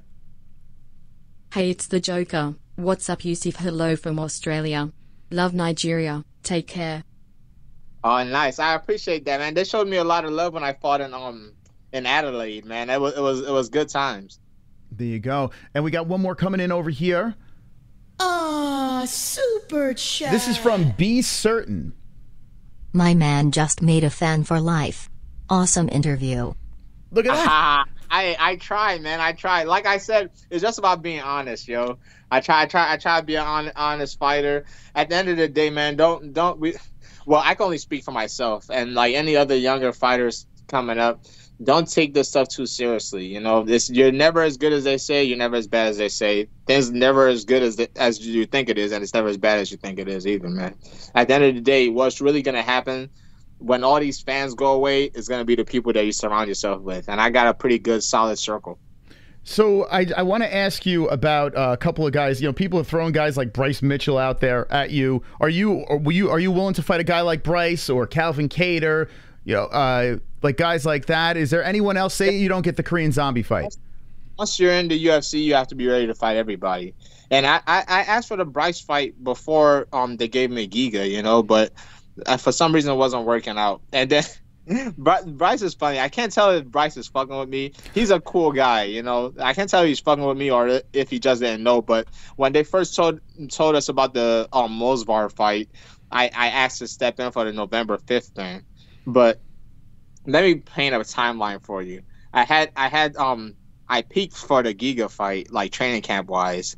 So they told me I was gonna have the Giga fight. They um moved it two more weeks. So I kept the same like weight um weight cut regimen for an extra two more weeks, and then I fought again. Then I kept the weight cut regimen for like three more days because I was trying to replace um Movsar for the Bryce thing. And then when they finally told me what um it wasn't gonna happen, I was like, all right, man, time for me to just get, get back to normal, eat like regular. And then like three, four days after that, Bryce goes on Twitter. He was like, "All right, Sodiq, I'm ready to accept your challenge, but I'm worried you're too fat." And then I replied back, I was like, "Yeah, you know, oh, yes, I'm too fat." You know, like that's I, I don't know if he was expecting me to like like challenge it, but like like like I've been saying this whole interview, I'm an honest guy. I'm not I'm not I'm not gonna try to play the tough guy, Joe. I was like, "Yes, I'm too fat, Bryce. like, I'm not fighting you in November." You know, but if it does happen one day in the future, I'll be happy. I feel like Bryce is too uh, pure for his own good. Like he basically, it doesn't seem like he means any harm. He just basically says whatever the hell comes out of you know his brain. I, I think I, I think he's a genuine dude for sure. I um I ran into him at the at the PI, maybe like maybe like no not at the PI. It was at a hotel like a few months back, and I was like, man, Bryce, how, how come you keep ignoring like my my call outs, man? Like how come you're not gonna fight me? And then he was like. And I'm not scared, motherfucker. Like you know, like with, with his accent. and I was like, man, nah, I don't think it's scared. I think he thought I was trying to like punk him. Yeah. But I was like, nah, I don't think you're scared. I just thought you would think it's an easy fight, you know, because I'm I'm just a striker, you know. I thought you would want to jump on it, and he was like, um, no, I don't think you're an easy fight at all. It's like, how come how come when I was behind you, you you wasn't calling me out back then? I was like. You know how this works. Why, why, why am I calling you out when you're behind me? I was like, I told him, I said, it's the same reason why you're not accepting my fight right now. It's like, I'm behind you now. It's like, it's like, man, like I said, man, be real, man. Whenever you see these fighters, like, posing and faking on these interviews, man, you guys got to hold them accountable too. Yeah. Let them tell them real. That will that will help a lot of the um culture around MMA. There's so many like trolls and and stuff on Twitter. I think some fighters like feed that, you know, like they feed into that kind of stuff. But if, if I feel like for real, if all of us are like just straight up and real about stuff, we could end up a lot of loser mentality that's around MMA, especially on Twitter, man. Mm. Twitter is like a cesspool of like just loser like fans, you know, like they they they they paint a bad light on real MMA fans because that's what people think MMA fans are. And to be honest, it's like sometimes I think that's what MMA fans are, you know, just because there's so many of them. There's so many of them. I um, in that conversation I had with Bryce, um, somebody showed me a screenshot of somebody that was like, "Why the fuck did this guy block me?" and like, I was like, to be honest. I don't know why I blocked them because I RSVP people's blocks. like I tell people, I tell people at my, at, at my gym, they think I'm joking, but I will literally reserve your block. And that's what I what I mean by that is if I see you trolling another fighter or another celebrity, I just block you just for the hell of it. And like I, realize that I, I that I exist. So I RSVP your block. So whoever that guy was, I probably you probably didn't do anything to me, but I RSVP'd your block for, for trolling somebody else before you realized I existed. You know, it's funny that you do that because uh, I, I notice with MMA fans, the most fair weather fans out of any sport. One minute they love you, one loss, they fucking, you're the worst thing that's ever happened. It's crazy. You should see what people's DMs look like when they lose. Like, like when I lost to Arnold, is is so bad. And but like, I, I'll keep it real with them. Like, if I see it, and I, I'll reply sometimes, and a hundred out of a hundred, it never fails. If you reply to any troll on on on your inbox, it always change. They're gonna say, "Oh, I didn't know you was gonna respond. I'm a big fan," and then it, it's every single time. It never fails. Like mm-hmm. it's so consistent. It's like, man, th- I would reply to you if you were just a cool guy too. Like you don't have to come into the DMs and troll. You know, like I talk to I talk to like MMA fans all the time. It's like that's not a way to get attention. It's hmm. like after they always say that, oh, I'm a big fan, then I block them again. it's like I just wanted to see if it'll work, you know. but, but it's consistent every single time, you know. But Good for you. Just, just cool, y'all. If y'all watching this interview, just be a regular person. I saw Mhm. somebody um in the comments say they never block anybody, and I used to be like that too. And this is what I mean by like me liking GSP and stuff like that because I like fighters that are honest. And this one actually came from Michael Bisping. And I remember I used to take pride in not blocking people because it was like some ma- macho shit, you know. It was like, man, I don't give a fuck about um social media. It's not real. I don't um I, I don't block anybody. Blah blah blah on some macho shit. But then Bisping, and I heard him say it on his TV show. He said, in real life, whenever he sees an asshole or some or somebody that's just a piece of shit, he doesn't interact with them. So why would he do it online? Mhm. And as soon as he said that, it made all the sense in the world to me. I was like, wait, that's a great point. Why, like, the people don't deserve um to be in in your life if they're just a piece of shit. Just just block them, and and then they just then they really don't exist. Yeah. Like that's what social like social media is not a real place because you just boop and that person stops existing forever. We're, we're wired as human beings for some reason to just be drawn to negative. It's weird. Like even if I'm doing a stream, like everyone could be saying something nice and one knucklehead would say something. Yeah, and all of a sudden you're like, "Fuck that guy." But meanwhile, you're you're missing all the nice stuff. And I noticed on Twitter, like for instance, Aljamain Sterling is the perfect example. He only Yeah. responds to the trolls.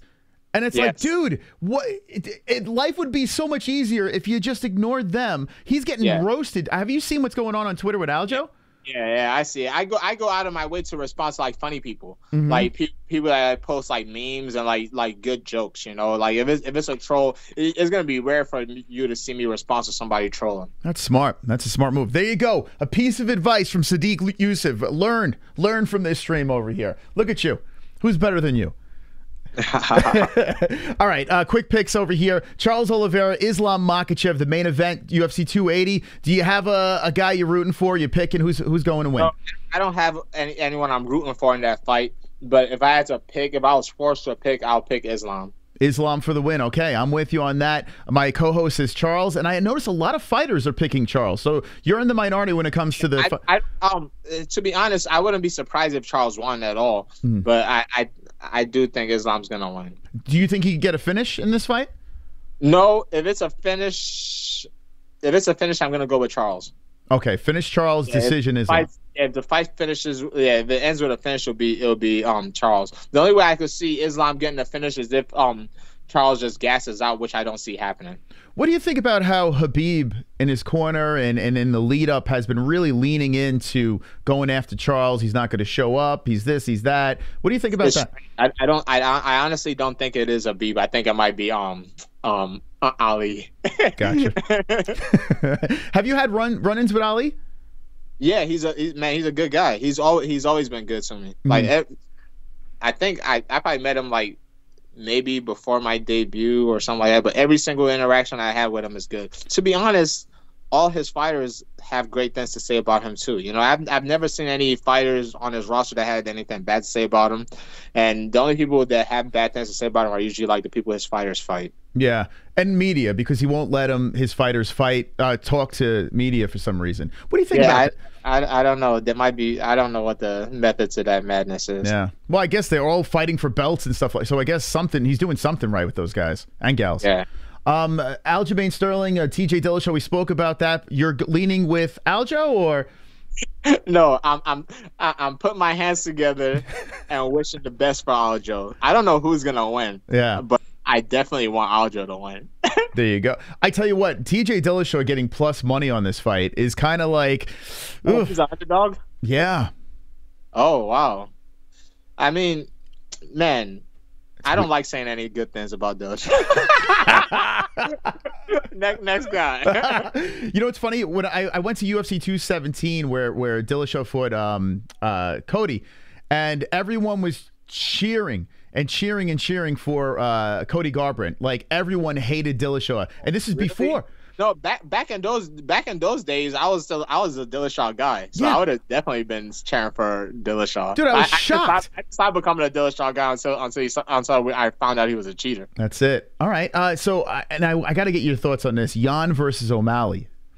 Man, I to be honest, like I'm picking Yan, but I don't think anybody could confidently pick O'Malley because we don't have enough information on O'Malley. Mhm. O'Malley's a good striker. Like he's really, really good. I wouldn't be surprised if he wins that fight, but um, just off like math, if I was like an insurance guy or something, I would have to pick Peter. You know, it's a safer, is a safer bet because we kind of we kind of know what we're getting. But with with um O'Malley, our chance to learn about what type of fighter he is was when he fought um Pedro, but that fight was so freaking weird and awkward. Like we didn't get we didn't get any information out of that, you know. Yeah. So I- I'll have to pick Peter Aaron, but the fact that it's a three round fight, man, that's that that really helps O'Malley a lot. yeah. Peter starts so slow, you know, like he he gives up the first round against anybody. So you can't. It's hard to do that in a three round fight. My last question to you: It's 2022, right? We're we're hitting the home stretch over here. You're sitting at number 12 in the rankings. At the end of 2023, where do you see yourself? Man, I see myself at number five or, or four. To be honest, like if I could get that um Korean zombie fight, and that would put me definitely number six or better, and then one more after that. That would be based on who wins these next couple of fights that are happening in the next couple of months. There you go. Well, Sodiq, listen, I was a fan before. I'm even a bigger fan now. You're a great guy and a fantastic uh, uh, talking with you over here. If you have any last words to the uh, community, the MMA holes, now's the time to get it out. Oh, man, I feel like I already talked you guys' ears off, man. My phone's on like ten percent. So thank you, thank you for having me. Um, follow me on everything. It's all Super Sodiq. Like I said, the only thing um, I'm I'm more active on like the TikTok stuff, like for like live interactions, but ev- everything else is kind of just post, post and go, post and go, post and go. But yeah, everything's super Sodiq. The links in my bio for like my merch and all that kind of stuff for all my social media. And thank you for having me. Any content coming out on YouTube? I just subscribed to your YouTube channel as well. Anything we can look forward to? My coach kills me on that, man. I, I so I was consistent for a little while when I was doing like these story times, but then I got lazy. You know, it's like if you want to catch my story times, I'll give them out to you on these kind of interviews. But I'm just being lazy. I need if I had like maybe like a partner or something. I don't know, man. I, I got I got I got to do something with that YouTube channel. Well, I mean, when you got a million followers on TikTok, I mean, who cares about YouTube, right? Yeah, yo, the people on TikTok, most of them don't even know who I am. Like, so ev- when I, when I when, every time I fight, they're like, "Oh, wait, you're really a UFC fighter." or like, or like whenever I go li- live, like talking about like UFC stuff, they're like, "Oh, this guy's actually like a UFC fighter." I met a girl one time at a at a cookout, and she was um, she was talking about. She was just talking about social media and stuff like that in general. I'm thinking she knows I'm a fighter. So I she she asked me, she said, How do you deal with notifications? And I was like, Yeah, um I, I turned off every notification on every social media app or any apps like that before I got the contender series fight. And like now that I'm in the UFC, I've already I'm already used to not seeing any notification. And she and then like I saw her face was like very confused. And I and then she was like what? She was like, um, what's UFC? I was like, you know, like like fighting. You're like, she's like, oh, you, oh, you're a UFC fighter. I was like, yeah. I was like, what? I, I asked her like, what was you talking about? I was like, no, I saw your TikTok page. Like, like so the whole time she was just talking to me in reference of the stuff I post on TikTok, and she had no idea I was an MMA fighter in real life. I was crazy. like, well, I guess I'm a TikTok guy now. Wouldn't that be something else though? Like your TikTok it blows up to the point where it's like you just vanish from the UFC, and next thing you know, you're the big TikTok star. yeah, but the problem is because I'm not on there dancing or, or know my face, nobody knows who I am. It's just me posting memes and funny stuff like, man, you're like, man, your videos are so funny, blah blah blah. It's like, oh, who, are you? Well, I got I got something I got something to pitch. You fight. All right, let's let's let's get this out here. Korea. Korean zombie. You knock him out. You do a Jordan Levitt and twerk in Korea after the win. Yo, you know what's funny? I literally did an interview yesterday.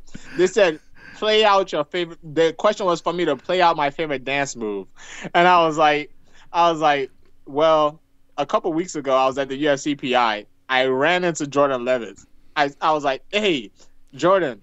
I'm a big fan of you, and like I saw in his face, he did not believe it at all. You know, he was like, he was like, and I was like, nah, I'm, I'm serious. Like, me and my friends, like, we call you Twerk Man. Like, I'm a big fan of you. I said, keep doing what you're doing. And, like, his voice is so proper, you know? He's like, he's like, oh, well, well thank you. I, I appreciate that, you know?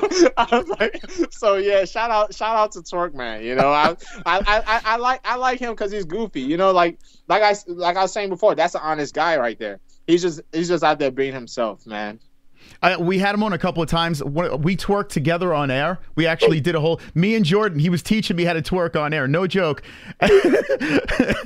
and uh, takes another level of comfortability and being like secure with yourself to, to be able to do some shit like that, yo. he's the man. I was so devastated when Paddy won. I was like, no, I wanted him to win so bad. I, I, I was rooting for him. I was rooting for him. I wanted him to beat to beat Paddy. Yeah. All right. Well, listen, Sodiq, thank you so much for coming on. I can't wait to talk to you again, man. Yes, sir. Thank you for having me, man. I got I gotta leave y'all. My phone is literally about to die. Be good, my man. Sodiq, super Sodiq Yusuff live on the show. Let's go, baby. What do you say in the chat? What do you think? What a guy. What a guy, man. Marathon interview over here, and I loved every minute of it. We talked Game of Thrones. Nice of Sodiq to come on the show. Listen, we're, we're going head to head with the MMA hour, and I looked at his guests over there. I'm like, boring. Come on over here. We're going to talk to Sodiq Yusuff. And by the way, Sodiq is in a really good spot at featherweight, so I'm really glad he came on the show. Coming off a 30 second guillotine win uh, two weeks ago. And the guy's got one blemish uh, with Arnold Allen, who's up there uh, fighting Calvin Kattar.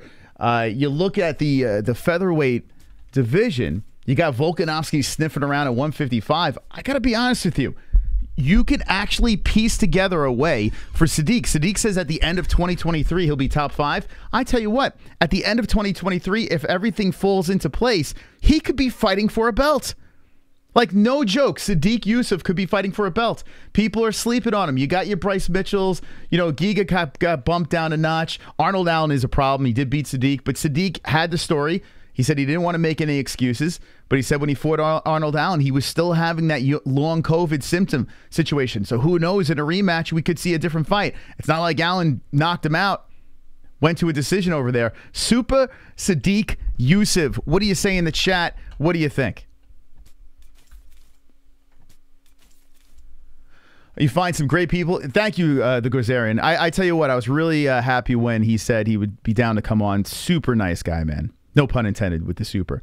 And thank you guys for the the chat, the uh, donations. I appreciate that. If you guys donate while we have an interview, I'll pause it, but I'll play him at the end for sure. Uh, he's a good dude. His damn savage, real nice guy. I tell you what, you know, uh, there are a lot of times where I'm just like, I don't know if I can do interviews anymore. You know, I hate dragging these guys on. You know, they got busy schedules, this and that. But like, if they're willing to do it and they're down to just chat, like guys like Sodiq, I could do that all day. Like I could, I could just over and over again have no problems. It's just, it's the people out there that just, like, there are some people just like, I don't want to do this shit, and I don't blame. You know, why do you want to go on Joe Schmo's podcast over there or a show or whatever? This is a show, not a podcast. Uh, but like you know, you got other things to do. So the fact that he came on was very nice of him over here. We have uh, some other stuff to talk about on this show. It's not all about Sodiq Yusuff. It's about UFC 280. That's right, UFC 2. I could have clickbaited like crazy and had that front and center, got a, hundreds of views or whatever, you know, for the, the UFC 280 situation, but I just wanted to have a sit down conversation with Sodiq. This portion of the show, we're going to roll into the UFC 280 uh, point of things. It is fight week. It is fight week over here for UFC 280, so I'm very much looking forward to it. I'm pumped up. I feel the juice. I mean, everyone is buzzing about this card. They're saying best card of the year.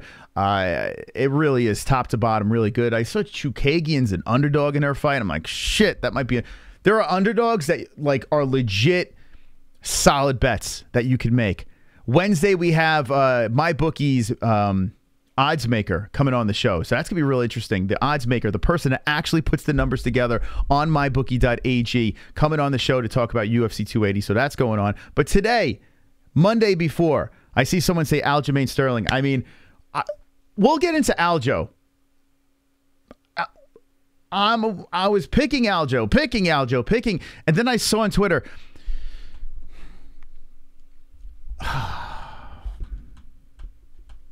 I mean, uh, one's in the chat if you know where I'm going to go with this, but I feel like he's making a critical error here, arguing with people on Twitter before a massive fight against TJ Dillashaw.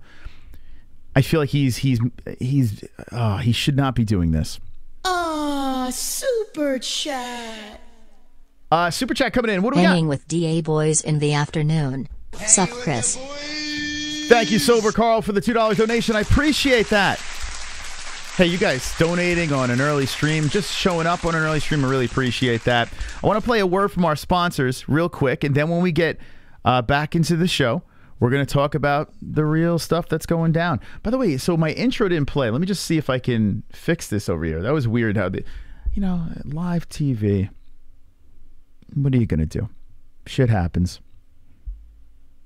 Let's see if I can get this to play real quick. Super odd. Let's see. So go like this. Okay.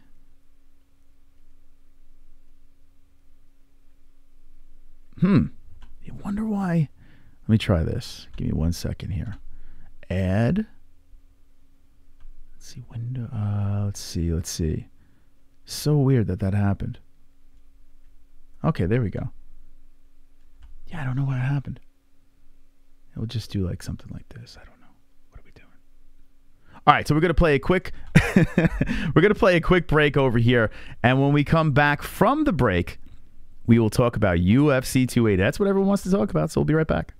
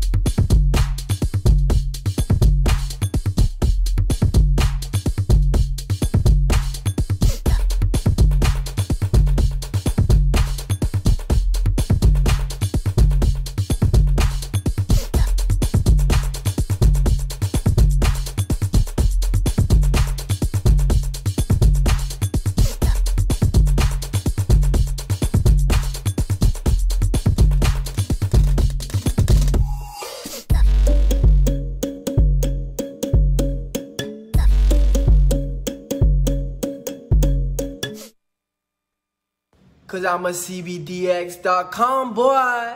We sell legal Delta 8 THC weed. It will get you very stoned. We sell gummies, yeah. Buzz based oil in and etc. And they post on Twitter. Oh yeah. Hey, on CBDX.com.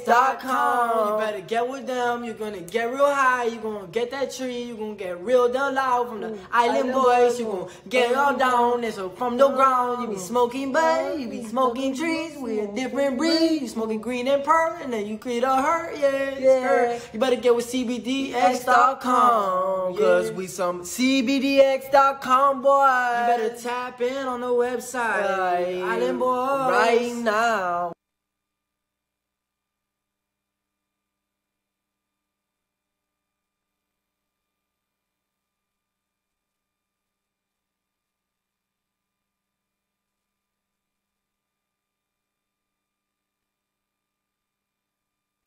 When it comes to underwear, there's nothing more important than comfort. Why empty your pockets for generic underwear that loses comfort, quality, and style when you can slip into a pair of Sheath and get even more out of your daily wear? With Sheath underwear, you can treat your jewels like royalty as they are given their own private sanctum, keeping them secure and you in a state of bliss. Get 20% off Sheath now using promo code MMA Holes. That's MMA H O L E S with the link in the description below. And for the ladies? Absolutely. Sheath isn't just for men. Ladies can now experience Sheath's style, comfort, and functionality too. Sheath for women is crafted using a signature modal elastane fabric blend for form-fitting breathability that will not affect the natural pH environment or the microclimate of the skin while producing that long-lasting, unimpeded comfort. Use promo code MMA Holes, MMA H O L E S for 20% off at sheathunderwear.com.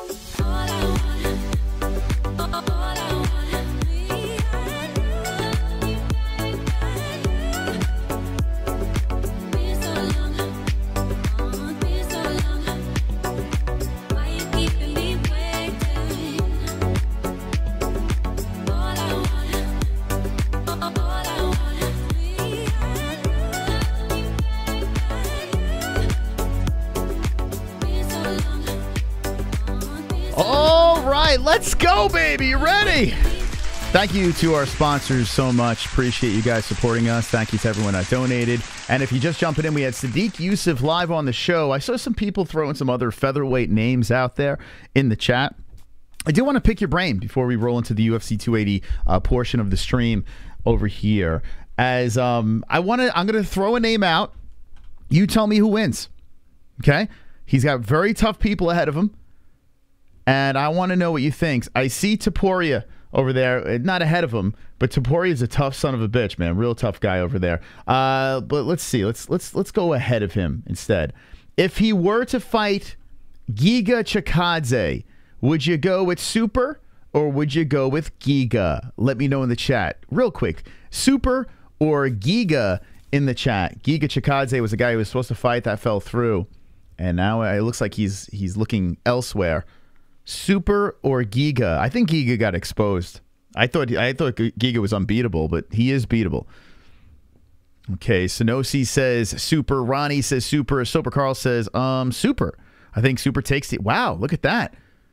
Looks like a sweep of the supers in the chat. Okay, let me ask a, another one over here. Let's do it. Uh, let's let's go with the Korean Zombie, a guy I'm a big fan of. Korean Zombie versus Super Sodiq. Zombie or Super? Zombie or Super? Let me know. Let me know. And I think the way zombies looked recently, I think this is the perfect time for a guy like Sodiq to get in there. But let's see. Super easy. Uh, super. Wow, look at that. Could go ne- uh, neither way. Or either way, trying to say? If it goes neither way, then draw. Super decision, perfect matchup, says B Man. I tell you what, man. Super Sodiq gets a win in Korea against the Korean zombie. And then twerks. That'd be something else. Uh, all right, so it was either. Super. Okay. I'm going to ask. Now we're going to just jump up to two people. I hope you're ready for this. I mean, we're taking a massive leap. Max Holloway, Super Sodiq. Who gets the win? Oh boy, oh boy. Let's see how biased we are over here. Uh, Super Sodiq or Max Holloway. I'm biased for Korean Zombie though. I love Korean Zombie. He's like one of my favorite featherweights. Even though he's on the downcline, still a fan.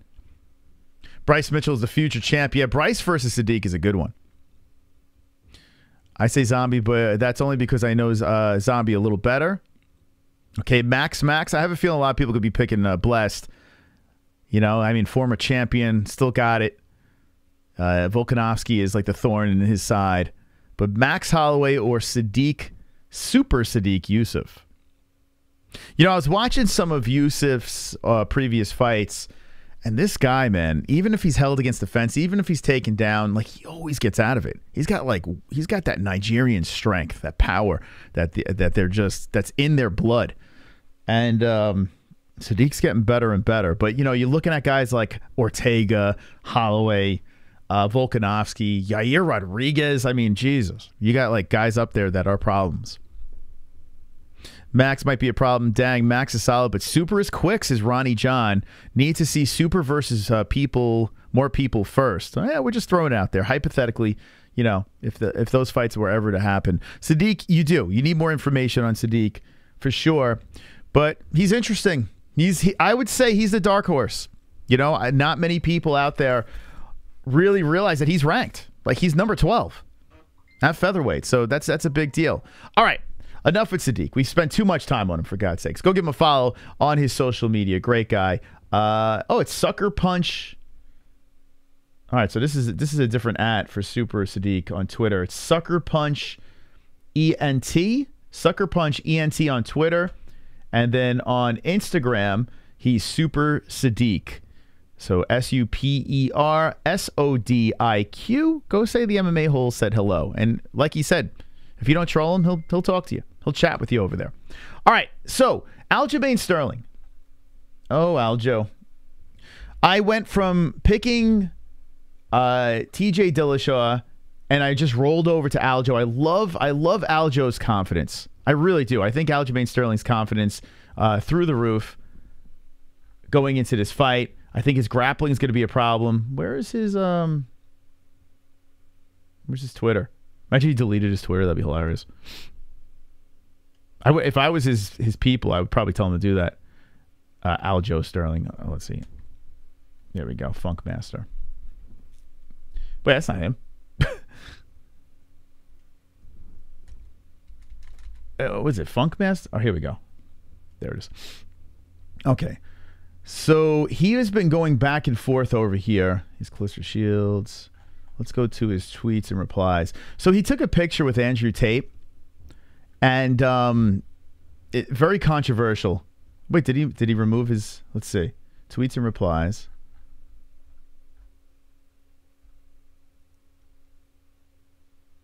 Okay, no, it's still here. Yeah, so oh boy, yeah, you can go down this rabbit hole. So uh, yeah, yeah, it's still here.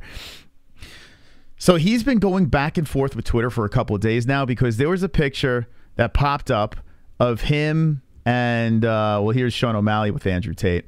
But apparently, Andrew Tate's a very controversial figure. I guess I don't know. I don't know much about Andrew Tate. I know he's a former kickboxer. He's he he's worth a lot. Uh, but um, he has some hot takes on things. And Aljamain Sterling, basically, like I don't know the exact phrase, but he basically was saying, um, you know, girls should be more careful going out to clubs and stuff like that and walking in shady areas. You know, not like girls should get raped. Like people twisted this shit. I, I got to get the ex- exact quote. Let me see. There is one media member out there who is a perennial victim. I'm not going to show her. Well, maybe I will. Like, there's a media member on Twitter that's a female that it's a shame. It's a shame that she's got to bring in like this side of things. It's it's it's nauseating. I feel like she should leave it be. Apparently, she's a victim of of rape. Right? She she's she's been in that situation, which is a horrible horrible thing. You don't want to hear anyone talk about you know stuff like that and and be a victim of it. But she kind of took what Aljo said and kind of spun it out of context. And now this is this whole uproar against Sterling. And Sterling got sucked into it. Man, she responds to so much shit. All right, here we go. I'm trying to I'm trying to get to the actual Aljo com. I mean, this goes on and on. What Aljo said is true. Yeah, I mean, you know, it's it's the hard truth. He's Aljo's not wrong, and I understand what he was saying, but it, people are always spinning shit. Like it's, it really is annoying.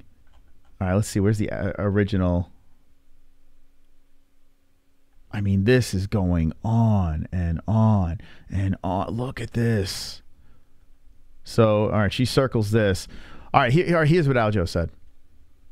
100% correct. Uh, also said was all the mental health issues and predators out there. Why walk home by yourself at odd hours of the night in sketchy places? I think it says places there. I can't. She. Uh, let's see. Let's see. Let's see. Uh, places. Uh, that was the responsibility. Uh, he mentioned for making safe decisions, which makes sense, although uh, doesn't justify rape. Okay. What did he say that was so fucking wrong there? Now, listen, uh, for me, Aljo's the cringiest is Ronnie John. I hear you. I find Aljo, I know Aljo, we've met him a bunch of times. He doesn't do our show anymore. I, for reasons that he never really told us. But anyway, um, I, from the interaction I had with him, very nice guy, and and we're friends with teammates and and and uh, his coach. You know, and Ray Longo, very nice people. Everyone over there at Law is nice, and Aljo has never been nasty to us. You know, um, but yes, on on Twitter, he's been cringy in certain ways where I understand why people have kind of turned on him. But I don't know uh, although doesn't justify rape, doesn't even need to be stated. I 100% agree. As much as you do not like Aljamain Sterling, I think we could all agree that Aljo didn't say anything wrong here. He's not he's not glorifying rape. You know, it's like like I'll just give you this comment over here. Al Aljamain, please think about what women in this uh, thread are saying and take it as a learning experience. Your words matter because you have a platform. The comment from men in this thread is truly disgusting. Now, maybe the responses are disgusting. She could be right about that. I didn't read any of that shit. Um, like you could just see a little bit. Like Aljo's defending himself, and then he says, "You said that rape victims hold some responsibility for being raped." If they are not if they are out at night. Rape victims do not hold any responsibility for rape. None under any circumstances. Uh, imagine your wife, daughter, mother in that situation. You wouldn't. You would be livid if someone blamed them. Amy, dude, like what the fuck? And Aljo's, you know, she's a media member. She's got credentials. You know, like like and she's going back and forth with a guy that's got to fight this weekend. He he didn't even say anything. Like, but the pro- Aljo's burying himself by constantly having to defend himself. And if you're constantly defending yourself over and over and over again, what these victims are doing is they're they're pulling every time you give them more information to work with, they're just going to pull certain things from each thing that you say and spin it against you. And he got sucked into this vortex. And here we are, fight week, UFC 280. He's the co-main event against TJ Dillashaw, a guy that could be taking steroids again. Who knows? Judging from the pictures over here, I'll show you. Let's see if he popped him up. Like there was there was a picture he put up of TJ. Maybe it's on his Instagram. But I gotta be honest with you, with all this craziness going on, I just swung back to TJ. And TJ getting plus money, I swung back to TJ, and it drives me fucking nuts.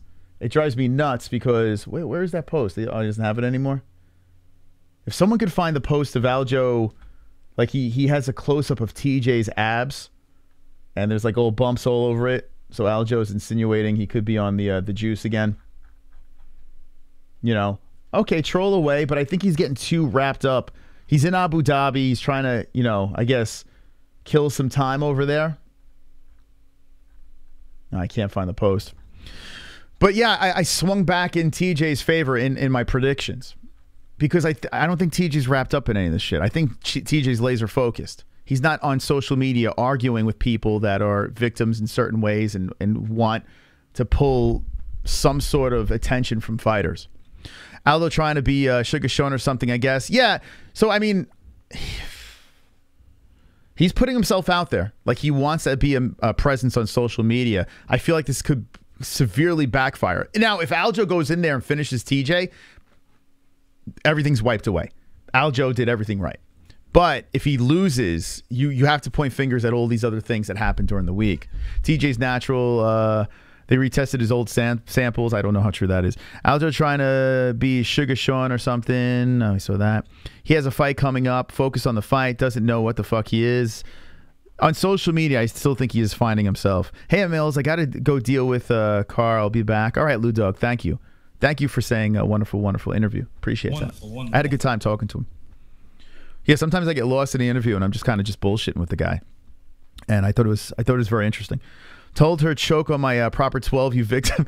yeah, I, and and and and if you're a media member too, I don't know if you should really severely be this certain media member she keeps on going online and making comments about her weight and then like retweeting people trolling her and then like putting a spotlight on that and then being the victim you know like all these things like she's just like starving for attention in all the worst ways i understand listen a lot of us are, that are putting content out there we want attention at the end of the day, it's the truth. I'm doing a YouTube channel. I like the attention. I like to fucking talk to people from all over the world. It's just not like now that I have a kid, it's not my number one thing anymore. Like I don't I don't I don't starve for it so much that I have to fucking be a victim or I have to do things in a certain way so I can keep on craving that 24/7 attention. I turn it off and I be a family man. This woman here she doesn't do that. Like she doesn't turn it off. She's always plugged in and she's constantly going out there and just and just being the victim over and over again. And she probably had some traumatic things happen to her. She needs to see a fucking therapist not scrutinize Aljamain Sterling on on a fight week and pull information from what Aljamain's saying and twisting it. It, it's it's like the lowest thing you could possibly do on social media. It's a scumbag move. And I'm not I'm not saying what happened to her was was great and, and and I'm not saying oh good for her. You know, she got raped, blah blah. I'm saying that's horrible. If you have these mental issues that PTSD from that, do not go and put it on other fucking athletes or put words in other people's mouths. You gotta fucking stop. You gotta stop it. You gotta fucking pump the brakes. You gotta fucking put out the fire and go in your personal life and deal with those demons. Don't drag it into your work life. It's just disgusting. Disgusting. Like, it's sad. It's sad to see that people have to be a victim. She did this whole thing. She put a YouTube video out there, and instead of talking about the interview, she's talking about maybe one person cracking a joke about her weight and ignoring everyone in that comment section saying something nice. It's mental illness. Some women with very uh, severe victim complexes will literally take any attention they can uh, get from their past. They want uh, to feel bad 24 7 from. Yeah, what she is doing to Aljamain Sterling, say what you will about Aljo, whether you like him or you dislike him. She is taking him and she's twisting his words. It's wrong. It's fucking wrong. Uh, if you want to see, I, I showed it on air. If you want to see more from that media, I'm not going to fucking hang her. To, she's hanging herself. Go to Twitter. Go to Aljamain, his tweets and replies. Super. You'll find her in two seconds. You'll find her in two seconds. And if you scroll through her stuff, you'll you'll you'll sort out all the cra- it's it's it's happened on numerous occasions. And and there was one time I got sucked in, and I was like, "Fuck, man! Like, what? Stop with the victim shit." But I'm not gonna I'm not gonna engage on Twitter with that stuff. She can hang herself. It's it's sad. It's sad because she probably went through some real shit. And I, I'm now picking TJ. Nothing against Aljo. He, he shouldn't be engaging in this stuff. Hopefully, as the week progresses, he completely unplugs from that and can be laser focused. Maybe he's using it as a distraction so he doesn't constantly be in his head about the fight. Maybe it works. I move to TJ. Now, when I watch the face offs and see all that thing unwind, maybe I'll change back again to Aljo. Right now, I am picking TJ Dillashaw at, with plus money. I mean, that helps too to get the win. Super chat. Uh, the champ has a name and he will win round one sub. the champ has a name and he will win round one sub. Okay. So, and that's from Dire Goth 03 Gaming. Thank you for the donation. Appreciate that. Who are you talking about? Talking about Charlie Olives, who's not technically the champ, but he, I mean, in our eyes, he is. Are we talking about Aljamain Sterling?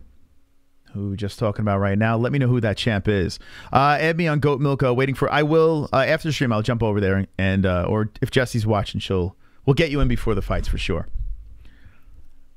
Uh, let's see. Let's see. Who's winning this weekend? Preston. Okay, so I am still laser focused and locked on Islam Makhachev in the main event. And I like the fact that a lot of fighters out there, uh, the actual UFC fighters, are saying um, Oliveira is going to win. Uh, Sodiq came on, he picked Islam. Um, but, you know, everyone I think is on the same page where, you know, the, the, the logical people know that this could go either way. Now, in my mind, I have this mystical thought of Islam Makhachev putting a hurting on Charles. Now, I understand people like, with what information can you actually say that's going to happen? Physical informa- information with his his uh, past opponents? No, it's a gut feeling. Like I've seen his skills. Maybe it hasn't been against the guys that Charles has faced, but I see his skills, skills, and I see a parallel to Khabib. And with that blemish, that freak loss, him getting knocked out earlier in his career, I feel like that's only going to help him. The only negative thing I have to say about Islam Makhachev is the pressure. I brought this up many times before, and I'm still with that. This opportunity is tailor made for Islam to win the fight. Abu Dhabi, Khabib in the corner, but there's so much weight on those shoulders to beat a very dangerous Charles Oliveira. If Islam loses his fight, it's because of his head. It's because he couldn't handle the pressure. And of course, Charles Oliveira is a fucking savage. I mean, let's be serious. Charles is a beast. You know, if Charles wins this fight, you put him in play as one of the best 155ers of all time. You can actually make that argument. I know technically he's not defending, but in my mind, he is. If Charles Oliveira wins this fight against Islam Makhachev, lock it up, baby. Charles Oliveira is right there with Khabib. You have to, you have to put him in that picture. You have to. Khabib left prematurely to, to open up that conversation. But with my mystical thinking here, I think Islam's going to get it done. The conversation's never going to happen. Let me know in the chat. Moving over to the main event Islam Makhachev versus Charles Oliveira. Uh, we got a donation coming in. Dire Goth. Charles Oliveira said he will get it in round one. Okay. I love Oliveira's confidence, and he's saying round one finish. Love it. Charles has less weight. He's technically not the champion. He's going in in hostile territory. Well, not. I mean, I, I think some of the fans are going to be. Some fans will be for Charles. Majority will be for Islam. But I think Charles got nothing to lose. Even if he loses this fight, he did it. He won the belt. You know what I'm saying? Like he did that crazy comeback story. Like it all, it all happened. This is just to solidify legacy as in goat status. That's what this is for. If he loses, he loses. He's been there before. Less pressure. Love the confidence. Still leaning towards Islam. I'm greedy. I want something to happen so Volkanovski gets a shot. Okay, so Sean, here's something interesting, and I and I get why you're like that because if if Volkanovski slips in, gets the title, I mean that catapults Volkanovski. He's already the pound for pound guy. Here's the problem, and I've heard people say this before. I 100% agree.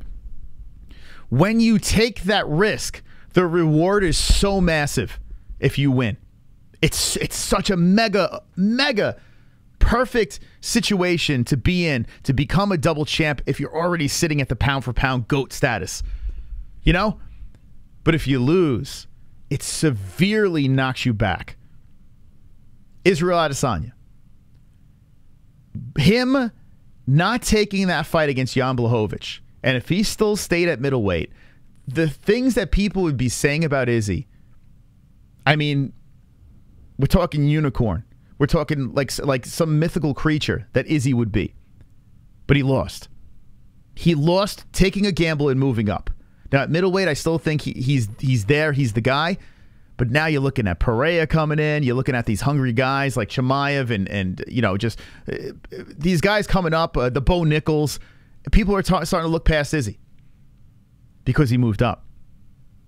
If he didn't, if he didn't move up, you know, people wouldn't be thinking that. Now, I, I give a lot of credit to Izzy for taking a chance. You know, uh, Khabib never did that? Why do you think Khabib never did that? Because of guys like Izzy. And if Volkanovski goes up short notice, you know, you can make the, uh, you know, hey, you know, uh, Volkanovski's a fill in. You know, he didn't really train specifically for one guy or whatever. You can make a million. It doesn't matter. When you look at Tapology, you see the red mark, you see the L. So the reward is great. The risk is bigger. I think, at least. I think so. I base most of my picks UFC uh, off of uh, what Moss picks. Uh, whoever Moss picks, I'll pick. Let's go. Pick the opposite. I had two fights wrong, so pick the opposite. Lose your money. Last week, two fights wrong, baby. That's it. 11, 11 fights, two wrong. Pick against me. I still love you. He's maybe auto the goat, especially if he beat. I'm telling you, Islam's going to win. I'm telling you, it's mystical tingling that Islam's going to win this fight. And I, I'm kind of bummed that he's the favorite in this one. I'm kind of bummed. True, but the backup fighter is uh, looked at different. No one's going to remember that. Like as MMA fans, we will remember that. But anything that people are going to see is the blemish. And then look at Israel Adesanya. He went from mythical creature to ah beatable. You still see the L. An L's an L, unfortunately. You know what I'm saying? Like it, it is. Now, if you at this stage. Now, if you're doing it on the way up, you take a bump, you move back, you know, that's one thing. But if you're taking a gamble as a champion and you lose, there's a problem. If Conor McGregor at 145, he wins that belt 13 seconds, Jose Aldo, he goes up and loses to Eddie Alvarez, say goodbye. The double champ does whatever the double champ wants. Say goodbye. Like that, now you take a massive step back. But he won. And look what happened. The reward is there. Volkanovski, I hope, does not fight for that that step in. I don't want to see it. I don't want to see it. Defend. Stay at 145. Keep on running through those guys. There is no rush. There's no rush to go up right now. You're fighting Islam Makhachev or Charles Oliveira. You lose to those guys, you take a step back. I don't want to see it. He could be the pound for pound king and sit there like Mighty Mouse. Look what that fuck. If Mighty Mouse marketed himself better, there would be no argument. He'd be the goat. It's that simple. Mighty Mouse is like, ah, who cares? If Mighty Mouse marketed himself better, he would have been the goat. Uh, Gloss is the fact Izzy would be doubted light heavyweight loss or not. That's not true. That's not true because here's the thing: we would doubt because we hated. We would, but the doubt would be from no fact. Doesn't matter, speculation. There's a big difference between a fact and speculation. Massive difference. Uh, too damn moss. Uh, that's fantastic. Uh, I'll take that shit all day long. Market Mouse. Yeah, I, I wish Mighty Mouse did it differently. But he, you know what? He left on his own terms, so good for him. He never really sold out. You know, I, I kind of wish we just, you know, got a little bit more on the mic and like that he gave a fuck. Like he didn't when he was doing press. He's like, yeah, whatever. When he was like lead ups to fights, he was just like, yeah, oh, okay, I don't want to be here, but uh, I'm just here. You know, like that's what it felt like with Mighty Mouse lead ups. So that kind of sucked. I, I wish. I'm not saying be a different person. Just show that you like kind of care. He didn't. So I think that's why Mighty Mouse is pushed at the back of the line when people talk about him as in goat status. He's right there. But this is not a conversation about goat. Uh, someone brought up the Volkanovski situation. Leave it be. It's nice to have him as a backup, but you have options. You had the Gamrot and Dariush over there. Like you literally could have mixed and matched and made something happen. It would be interesting. But Volkanovski coming in, needing Volkanovski coming in, and I understand if you're from Australia and you want to, you know, you want to, you know, be have your champ as a double champ. Okay, that's cool. If you're a fan of the guy, I get it. But if you're a real fan of the guy, just let him do his thing. Let him sit and just chill and just fucking knock people out because no one's going to be able to doubt that guy. Everyone's just going to be like, okay, I can't argue. The guys, he can't. No one can beat him. But if you go up and you take a chance, it's a problem, man. It's a problem. Ah, super chat. If you lose, uh, Dyer, What will her reaction be if Izzy wins by KO? I'll lose my shit. I will lose, no matter what the outcome is. I, no, I, I'm lying. And th- thank you, Dyer. Three in a row. Come on, baby, three. He got the hat trick. Hat trick of donations over there, dropping three in a row. What? Thank you guys for the donations. Appreciate it. Listen, it's an earlier stream. I know if you look at our demographic, we're night owls over here. I'm looking to pull some new people in too. You know, we got to build this community. We can't just fucking stay stagnant, treading water. We got to fucking grow. So I'm here just fishing for some new people, keeping the OGs with us because we got the OGs are the backbone of the MMA holes. But let's bring some new talent in here. Let's bring some new fucking chatters in here. So thank you guys for sticking it out on an early stream. Really appreciate it. And thank you to the donators. So if Izzy knocks out, we lose our. I mean, Jesse would lose her mind. I would lose my mind. The whole internet would explode for sure. If Izzy gets knocked out, same thing. We will all lose our minds over here if that happens. If it's a boring strategic decision, well, no minds being lost. You got to take those chances to be great. You do. This is the worst time. It's the worst time for Volkanovski to do it. This would this would be a massive just blemish. Sit there, win, win, win, and then like when you're like you're thinking about it, like Kamaru Usman, for instance, before that Leon Edwards fight, like if he went up, like he wasn't gonna fight Izzy, he wasn't gonna fight Izzy, he wasn't gonna fight Izzy, right? That's his friend, and he's talking about going up two weight classes. Kamara, where he stood, like how old's Volkanovski? Let's see. How old is Alex? Let's see where where he sits. I'll tell you when he should move up. He's in his 30s, right? The great? He's 34. Okay, you're getting close. You're getting close. You're you're you are getting close. I want to see Volkanovski move up with a full camp, like ready, specifically training for a certain individual. I don't want to see him coming in on standby. I don't. Thank you, Mark. Appreciate that. Thank you for the nice words. Appreciate that.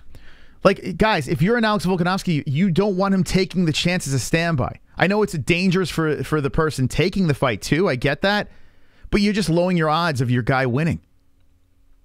You know, give him a fucking full camp, waiting for to to fight a specific fighter.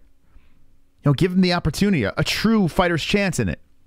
Why why do you want him coming in training for two guys? You know? That's that's my my take on it. Like I get it. People love the glitz, the glamour, you know, the chances, you know, and it, and if it pay rolling of the dice. I'm 45. And rolling of the dice right now as a dad, as the greatest host in the world on YouTube, seasoned veteran of the game over here 6 years in. Rolling of the dice seems fun, but if the risk is higher than the reward, not worth it. It's not. I mean, we're rolling the dice on the show earlier in the day. That is a roll, but I feel like the reward is greater than the risk. That's what I feel. In Volkanovski's situation over here, filling in short notice, taking a loss in Abu Dhabi against either Islam. Think about this. Charles Oliveira misses weight. He fights Islam. Islam beats the fuck out of him. And then you look at Islam's backstory and you look at his resume, the who did he fight situation, and Volkanovski loses to this guy. How do you think that's going to make Volkanovski look? Think about it. And I got to be honest with you, Islam beats Volkanovski. Sorry. Sorry, not sorry. Islam beats him. But say, you know, it does happen and Islam loses Islam wins that fight. How does that make Volkanovski look? The risk is greater than the reward. You know what I'm saying? Credit to Volkanovski for having the nuts to go up. All the credit in the world. And I'm not trying to, to shit on Volkanovski for even being there. I think he's got balls of steel. Love it. Love it as a fan of the sport. But if I want Volkanovski like notched in stone, like if I want his legacy notched, a guy that's never lost in the UFC, could you imagine he takes the blemish moving up? Standby? Against the guy with a shitty record? People start doubting. Maybe Volk starts doubting himself. Not good. Now, at 34 years of age, he's right there. where you can set something like this up. But I, I hope that he defends maybe one or two more fights and then make a solid bleed up. Going up to be a double champ. Let's go. Or maybe find a guy that's more reasonable to beat in that situation. Dariush uh, deserves a shot. I agree. Daddy Big Dick. I agree. I think Dariush and Gamrot over there. Oh, well, Dariush more. But I think I think they had the backup plan ready to go. But Volkanovski makes things interesting. It does. You know? So Volkanovski getting the eyeballs over here. But in the chat, we're Monday before Sodiq Yusuff came on the show. We're talking a little Alex Volkanovski, UFC 280, main event over here. Where do you stand? What do you think? How's it going to go down? As I am picking Islam Makhachev, my co host Jesse picking Charles Oliveira. We are split down the middle. It bothers me that Charles, let me see where the lines are now. It, it bothers me that he's an underdog because I, I, I know why people would pick that. It's not a bit, I mean, the fact that Charles, I, I don't understand why Charles is not the favorite. So many people are picking him. I, I don't understand. I guess people have mystical thoughts like myself about Makhachev. It is mind boggling that Charles is not the favorite. But I guess Abu Dhabi, you know, home field advantage for Islam, I guess. I don't fucking know. Let's log into this puppy. Uh, I don't want him to look better than McGregor. It's a completely different thing, man. It's a whole different thing. McGregor and Volkanovski, it's it's apples and oranges. What Volkanovski is doing, he's solidifying his, his legacy as pound for pound goat. Conor McGregor's not the pound for pound goat. Conor, Conor came in and fucking changed the whole dynamic of the UFC. It became the first ever real double champ. So with his losses and everything like that, it's a whole different trajectory. So Volkanovski and Conor McGregor are two different entities. You know, think about it. Completely different. Uh, let's see. Let's see. Makhachev. So Oliveira is a plus 141. I get why people are betting it. I get it. If you're a Charlie Olives fan, I mean, super chat. it shouldn't be a layout. Last ono for now, but you introduced me to UFC slash MMA. My first time watching was when you did Moss versus Usman 2. Hmm. Love, peace, and positive energy to Ur family. Hey, thank you. Well, that's that's, that's fucking awesome. So Masvidal versus Usman 2 is the first time you jumped in. So you're a relatively new MMA fan, UFC fan. That's awesome. Thank you. Hey, and thank you for the donation. I really appreciate that. And I love the fact that you are new to it. Because in our community, we have people that watch UFC 1 and we got people casually just jumping aboard. Maybe this weekend is their first big UFC event. Very possible. That's what I love. That's what I love about this community. Because yeah, we joke around about the Casual. the casual perspective over here, but at the end of the day, it's all about being a fan. Whether you're new, you're old, whether you want to watch with your, your wife or your girlfriend that's not into it, you want to get her into the sport. We got a community over here of all different shapes and sizes, all different colors and races, people from all over the world, whether you watched it for a long time or just a week. Let me know how long you've been watching the sport. I'm curious. Thank you for the donation. Uh, join two ninety nine a month and become a member. Thank you, Sober Carl. Let's go. Let's pimp out those memberships. Member up, baby. Appreciate the members. Yo, the members are fucking awesome. Absolutely awesome. The donators, the members, really love you guys. You have no idea how much we love you guys keeping us on YouTube. Connor Double Champ was my first UFC fight, says smoke him if you got him. Is that true? Eddie Alvarez, what, 205? Wow. If that was the first UFC fight that you watched, shit, man. Good card to get in. Since the TUF era, uh, so 2005, long time. Best MMA community in the world. Since Khabib versus Connor. So Khabib Connor got you into it. I tell you what, Khabib Connor, that craziness, I think that that just that sent the, the sport into a whole nother level.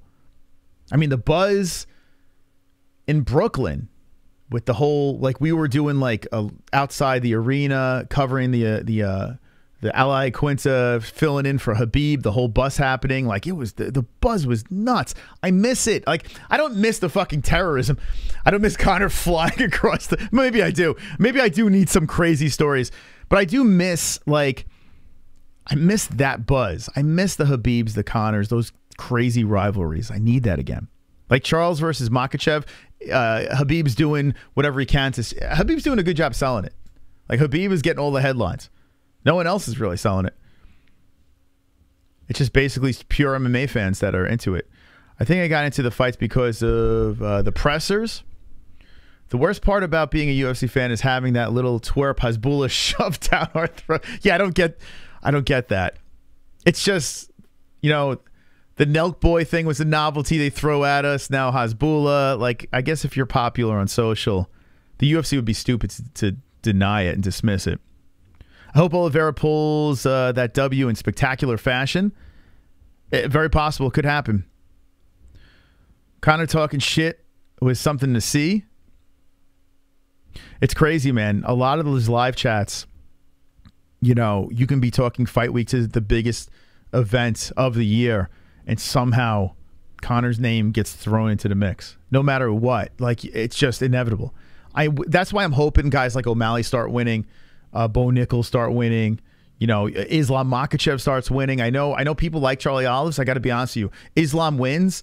I mean, it's a whole nother animal. If Islam Makhachev becomes the champion, like we have Khabib's protege, there's just so many fun options. I think Islam will lean into the trash talking a little bit more because I've seen on his interviews he has no fear of going up in weight. He has no fear of any opponent. Um, I think it'd be fun. I do. Like, what do you think in the chat? What is better for the UFC? Put aside your bias on who you want to win the fight.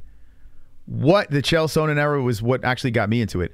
Um, Israel, Islam Makhachev or Charles Oliveira? What's more fun as a champion? What What do you think is better for the sport? Let me know. And I understand why people like Oliveira because he's got the great story. You know, he really does, and he's a very likable guy. I got to be honest. I think Charles Oliveira might be more likable than Islam. Islam, we don't know much about. He's a little dry, but Charles Oliveira is just a sweet, sweet dude. But Islam speaks English. So Islam's got that in his favor. Olives for sure. Okay. Ken, Ken Shamrock with uh, Tito era. Uh, Charles Oliveira needs to speak English. He he needs he needs to speak English because I got to be honest with you, just by speaking English alone helps out tremendously. So hopefully he learns the language a little bit better. Oliveira is more more fun as a champion too, but uh, he doesn't speak English though. Olives Islam said that. What did Islam say? You don't understand. Makhachev will be champ. He is Khabib's creation. No, I do. I picked. I picked Makhachev, and I think he will be champion. Yeah, I, I mean, I it just it just seems clear that he's going to win in my eyes, in my head.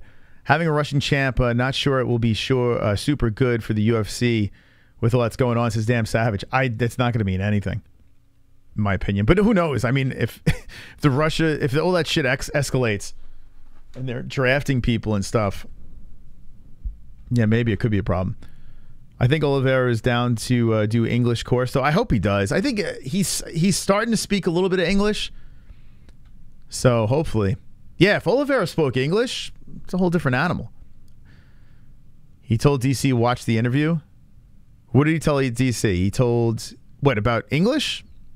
I don't think Olives is down to do English uh, English course though. Islam may be the hold on the protege but he he's not Khabib. Islam has a loss already and hasn't been in their deep waters. I mean, Bobby Green is good, but not what Olives has done. Uh, Ratlip is uh, better for the UFC. So I, I severely disagree. In fact, I think Islam could be better than Khabib. I'm telling you. You not only have the luxury of of having Khabib's father when he was alive mentor him, Khabib mentoring him, who is some say the goat, right? Definitely the goat of 155 so you have those mentors right there. You have the grappling is there. It's solid. You see him gra- like like rolling around with fucking Olympians and ragdolling them. I mean, that's that's pretty impressive. Put aside his UFC talent. Watch what this guy's doing behind you know behind the scenes. The dude's a problem. His striking is like levels higher than Khabib's. Levels. Khabib's jab just started getting going after you know after a couple of title defenses. You know, Khabib's claim to fame was his iron face that could take a beating and never bleed. That's that's what Khabib had. But it technically, Islam is better. I mean, all around. As an all-around fighter, Islam tech, technically is a better fighter.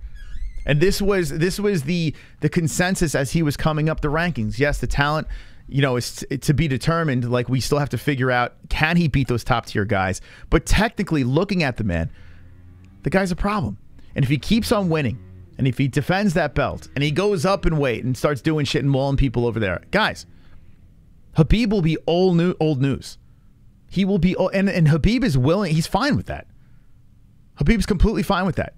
Islam has the things that Khabib didn't have the all around talent and the person in his corner, the two people in his corner. Uh, Khabib had his pop, but now Islam has a Khabib. If if we're gonna find out mentally, is Islam ready for this fight? This is a big test mentally for Islam. Uh, it was and and taking a loss, guys. I understand taking a loss. You know, undefeated, undefeated is a big thing. I get that, but sometimes a fighter needs to take a loss. Sometimes they need it because holding that weight on your shoulders of never losing, undefeated, undefeated, that's got to be just an added frustration that's not quite necessary. One loss. I hear your opinion. I can't. I can understand uh, what you're saying. He's a professional level, level, no doubt. I'll have. Uh, hold on to go back and watch some of Islam's fights. I never thought he could match uh, Khabib. I'm telling you right now. Even Khabib was saying, like in his earlier days, that the guy's a better striker than him. Like the, when they were hyping up Islam back in, like I'm talking five fights ago, when they were hyping this guy up, that was the consent. Like everyone was saying, watch out for Islam. He strikes better than Khabib on top of the grappling. That's what a lot of people were saying. You know, so I have to have to believe it. And from what I've seen, the guy's got talent. Now Oliveira's striking's got tremendously better. He's got the jujitsu, but I have to be honest with you. If I'm taking a high level striking grappling wrestler, sambo background, whatever the fuck it is, compared to jujitsu, I'm going with the neckbeard all day. All day. Now, Charles Oliveira brings something else to the mix. He's got that power and he's got very good striking. His striking's gotten significantly better. So he does have that to add to the equation. I cannot think, like, I cannot think of a world where this thing doesn't go to the ground. If if Oliveira pulls guard, I see Islam in there mauling him. So, I mean, I just have to go with that. I have to. Is Islam going to sub- submit Makhachev? I think you have a better shot of him knocking him out. I think that's a better chance. So that's why I'm leaning heavy towards Islam. I'm picking Islam. I know it's not, you know, it's not that sexy underdog pick, but I understand why he's a favorite. I I I still I don't know, like I feel with all the people though picking Islam, I mean um Oliveira, there's a lot of people picking him. Like I don't know. Let's let's see let's see what the chat says right now. Let's see where we're at. I'll put a poll in real quick.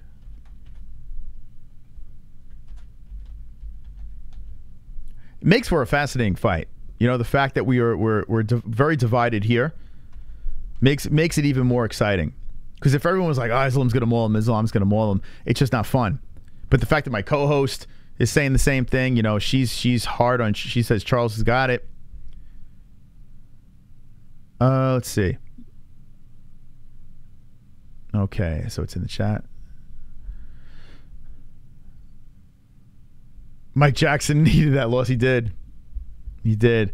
They will call him 2.0 Khabib, uh, so he'll need to challenge uh, Khabib to fight like Rocky Five. Could you imagine? The coach comes out of retirement. Here's the thing. Let me just say this: Islam Makhachev wins, right? And Conor McGregor rattles off like two wins or something. I mean, even one win the UFC will do everything in their fucking power to have the protege fight Conor McGregor. Everything in their power to do that. And and it doesn't make sense when it comes to the rankings in any way, but we're talking like we're talking Rocky shit right there. Like that shit is it's insane to think about. You don't really have that with Charles. You don't. I mean, okay, Connor knocked out a little Brazilian 13 seconds, the GOAT, Jose Aldo back in the day doesn't have the same thing as Khabib's protege versus. I mean, that is fucking nuts to think about. But Connor has to win. You know, he has to. I want Charles to win, but I think Islam takes it. I think most people uh, just don't like Islam. I'm one of them. Okay, that's fair. Um, Jesse's like that. Jesse just doesn't like Islam. You can just tell she just she's not. But I don't want to speak too much for her. I'll let her explain it when she comes on. What do you think on the Paul versus Silva fight coming up? In my opinion, I don't like it uh, for Silva. He's going to get knocked out. Uh, got bad feeling, uh, bad choice. Um, I love it and hate it at the same time because you think Silva's going to get knocked out. Yeah, the the potential of Silva getting knocked out by Jake Paul is something none of us want to see, and it's there. It is there, but I like it because it is finally he's fighting a guy his size with skill. I know he's old, but if Silva gets slept, I will cry. Is Islam married to his cousin? Maybe I don't know. I don't, no idea. I don't know what's going on in his personal life. If Ali Abdelaziz would loosen up the shackles, I'll know. But he won't let you know. He won't let his guys come on. Willie made like a two million. Silva gets paid great regardless. Yeah, he's making bank for sure. All right, let's talk about this third fight. We'll talk about uh, Dariush too, and Gamrot. But let's uh, talk about these. Uh, you know what? I'm going to be making my lock picks on Friday. Okay, so I'm going to lock them in in stone. Is there? Hold on, let me see if there is there a press conference for 280. UFC 280 press conference. Let's see. Oh, there is one. Oh boy. Okay, when is this? It's going to be at a weird time though, right? Everything you need to know about the press conference. Uh, Thursday, October 20th. What time?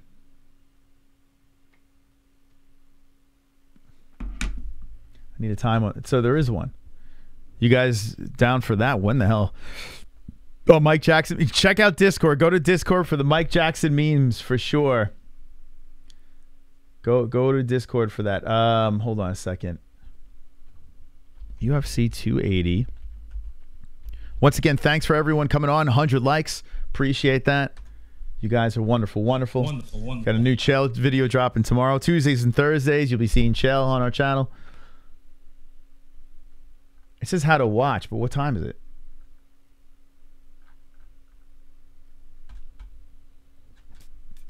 UFC 280 press conference stream how to watch. Uh, let's see. One of the biggest events in company in 2022. UFC press conferences are usually available. Blah, blah, blah, blah. Here's everything you need to know about a 280 press conference, including how to watch the event live on demand. How do you watch it? The pre-fight press conference for the event from Abu Dhabi will take place October it's Thursday, October 20th. If you're able to watch uh, Action Pre-Fight Presser via the company's official website, YouTube channel, Facebook, and Twitch. Um, that's for the live stream. What time is it?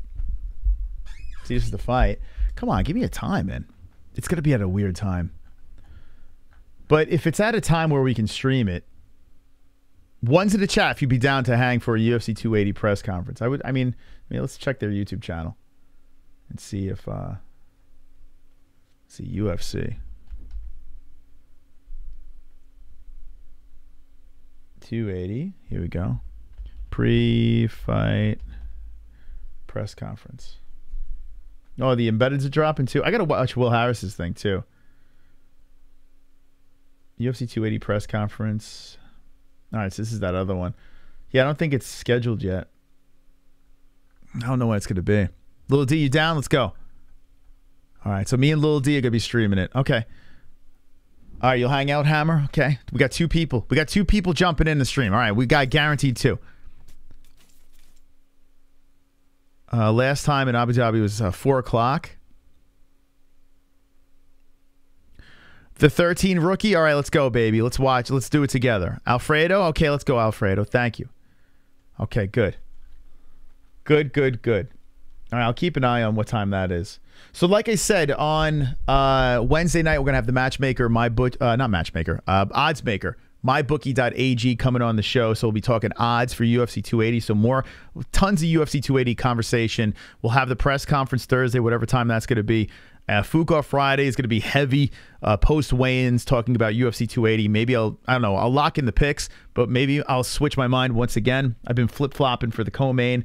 Aljamain Sterling uh, versus Pete, uh, uh, TJ Dillashaw in the co-main event. We spoke about it before. We'll speak about it quickly again. Who do you have, Aljo or TJ? I moved over to TJ's side. Chat who you have really quick. Sterling versus the Snake. Who you got? Who you got? Uh, one, 1.5. Timothy's uh, got the one over there. Okay, so we got people in the building for that. You know, looking at this poll real quick before I take it down. Uh, wow. Okay. So look at this.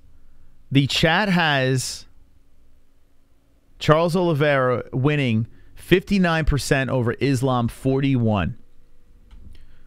I don't understand. I don't understand why the odds makers are making this Islam the favorite. I really wish it would. I hope the line switches because then I'll. I might place money either way on that fight, but hmm. Uh, let's see. Let's see. TJ, TJ, TJ, leaning Aljo. Interesting fight. TJ and new Sterling. I'm deep throating Islam. I, I'm listen. He's gonna win. I mean, I don't know what you want me to do. Do you want me to tell you who's like? Do you want me to lie to you? You know what I'm saying? Like I don't understand. Like if he wins, am I still TJ? Am I still uh, deep throwing? No, I'm just I'm just giving you like spoiler alert. I'm telling you who's gonna win. You know, I I think you know it's nice of me to do that. Why would I lie to you guys? It's not gonna switch. I don't think. That's why you know some people don't like watching our show because it's like a, you know you get spoilers to the fights, and some people watch because they want to make money. So if you're looking if you're looking to make money, you're cool with spoilers. Make sure you subscribe to the channel. If you don't want spoilers, then do not watch our show because I'm money. They call me Money Moss, baby. They call me money. What did what did I hit on that underdog last week? I mean, come on. They call me Plus Money Moss. That's what they call me. When you're talking the plus money, that's me. Plus Money Moss. All right, so it seems like the chat is is leaning towards TJ. Okay. How bad would it suck to be on Islam as the favorite and still lose your money? Uh, yeah, it'd be terrible, right? If you're placing a bet on Islam and you lose the money, that'd be terrible. I'm really hoping he becomes the underdog because everyone's picking Charles. Everyone, it's so weird. This is like the first time, like the, the whole internet is like swaying towards Charles Oliveira. The fighters are swaying, uh, although Sodiq wasn't. So why is Islam the favorite? We're, I'm going to ask uh, the the uh, betting guy uh, on Wednesday, the odds maker. It's it's interesting. Odds makers just set lines. It's now uh, it's now how the public is. Uh, but I don't think that's the case. I think they they keep their eyeballs on you know what the public you know where the buzz is going. I would imagine. I mean, if they just, I mean, I know that they look at the fight and then they throw a line out there, but the lines are always adjusting. And the reason why they adjust is because of the fans and the picks and the predictions and the buzz. I would guess. We'll find out for sure on Wednesday.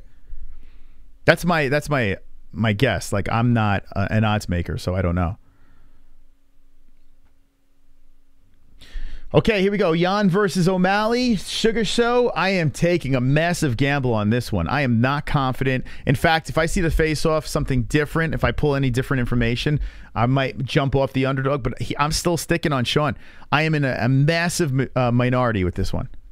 Massive. By the way, our poll for Charles now 61%.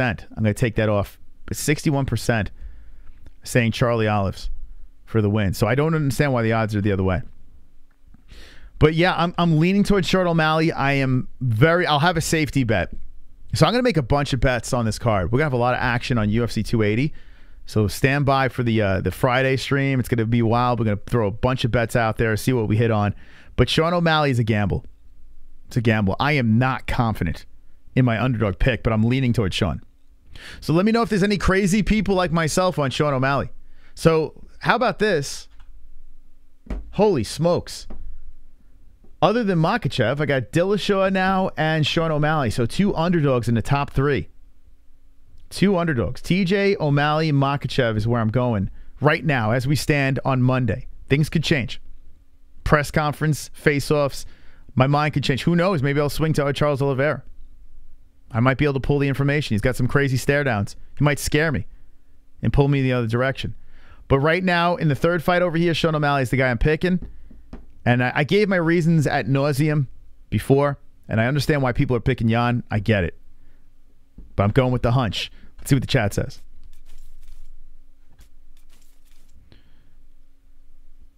Uh, it's amazing how people still don't understand how lines work. Well, we'll have a, it doesn't matter. It'll be solidified on Wednesday, and everyone will understand. You might not even understand. I'm taking Sugar uh, if it uh, if he's uh, confident. I like Yan, but he got humped by Aljo for the entire fight. That has to be on his mind. O'Malley got a big size advantage. Sean O'Malley has pink hair for this fight. He does. Mrs. Stretch O'Malley. Parlay TJ, Charles, and O'Malley and get rich says Daddy Big Dick. Nope, nope, nope, nope. How I make my bets is this. I know it's not it's not glamorous, but I've said this before. If you're new to the stream, I'll explain it again. The money that I've lost is on parlays. Every time I combine bets, now I hit on one parlay to start off. That's usually how it works. You make your first bet, you hit on it, you think you're invincible. That's what happened with me. I hit on like a three fighter parlay, all underdogs. I did fine. I did pretty good on that. So I thought I could do it every time. No, bet straight up. Make safety bets because you're not going to hit on them all.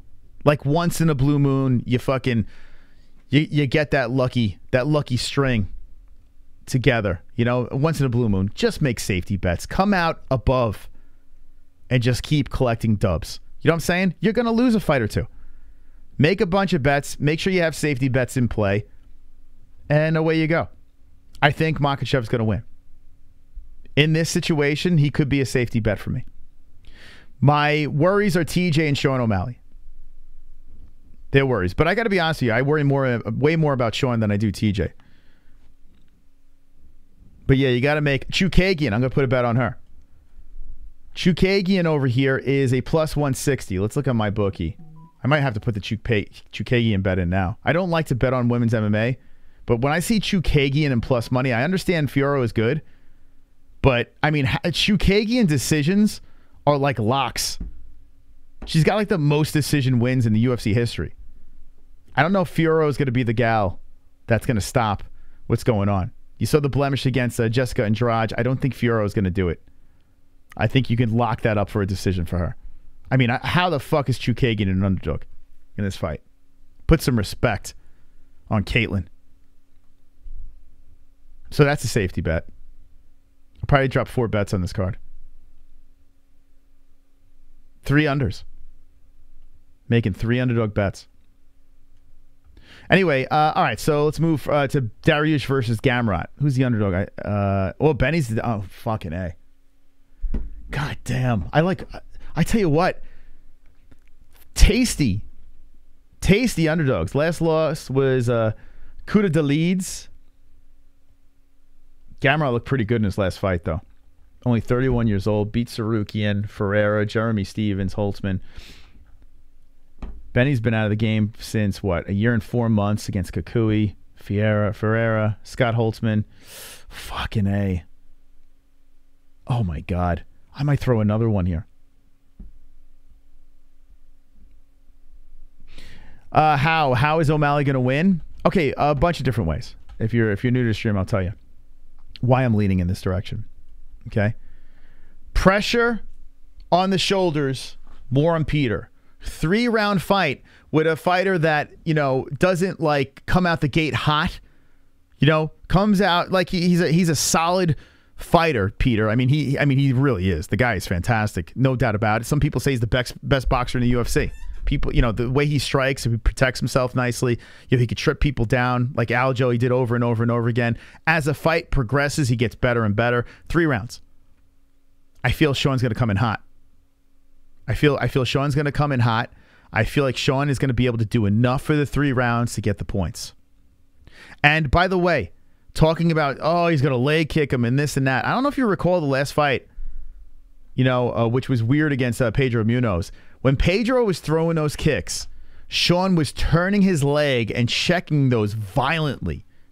Pedro was coming in, these checks that Sean was throwing out there, Sean wasn't feeling a thing. He's made the adjustment. So the leg kick thing, oh, Sean's gonna get leg kicked to death. Okay. He clearly didn't want to watch the Pedro Munhoz fight. He turns deliberately into it. Sean's a way smarter fighter than people realize. He sounds like a fucking moron on his podcast, and when he's gaming, and huh, I'm smoking weed and I'm hanging out with this person and that. He's not stupid. He's not. Sean O'Malley is making the appro- appropriate adjustments in this fight that I got to be honest with you, he's going to have an answer for everything. That's what I'm thinking. That's what I'm leaning. And getting the plus money over here, I know he shouldn't technically win this fight, but at plus 255, I mean, why not throw money on the kid? You know, why not? So, so I think the rounds. I think his his his length. I understand. You know, you had Sandhagen fight Yan, and people are trying to do this MMA math bullshit or whatever. You know, listen, it's a different situation. Sean is going there with nothing to fucking lose. He doesn't lose in the rankings. He's fighting the fucking number two guy, right? How what, what rank is uh, Yan at? Sean is not supposed to win this. Yeah, Yan is he's number one. Excuse me, fucking number one. He's jumping up from. Where is Sean?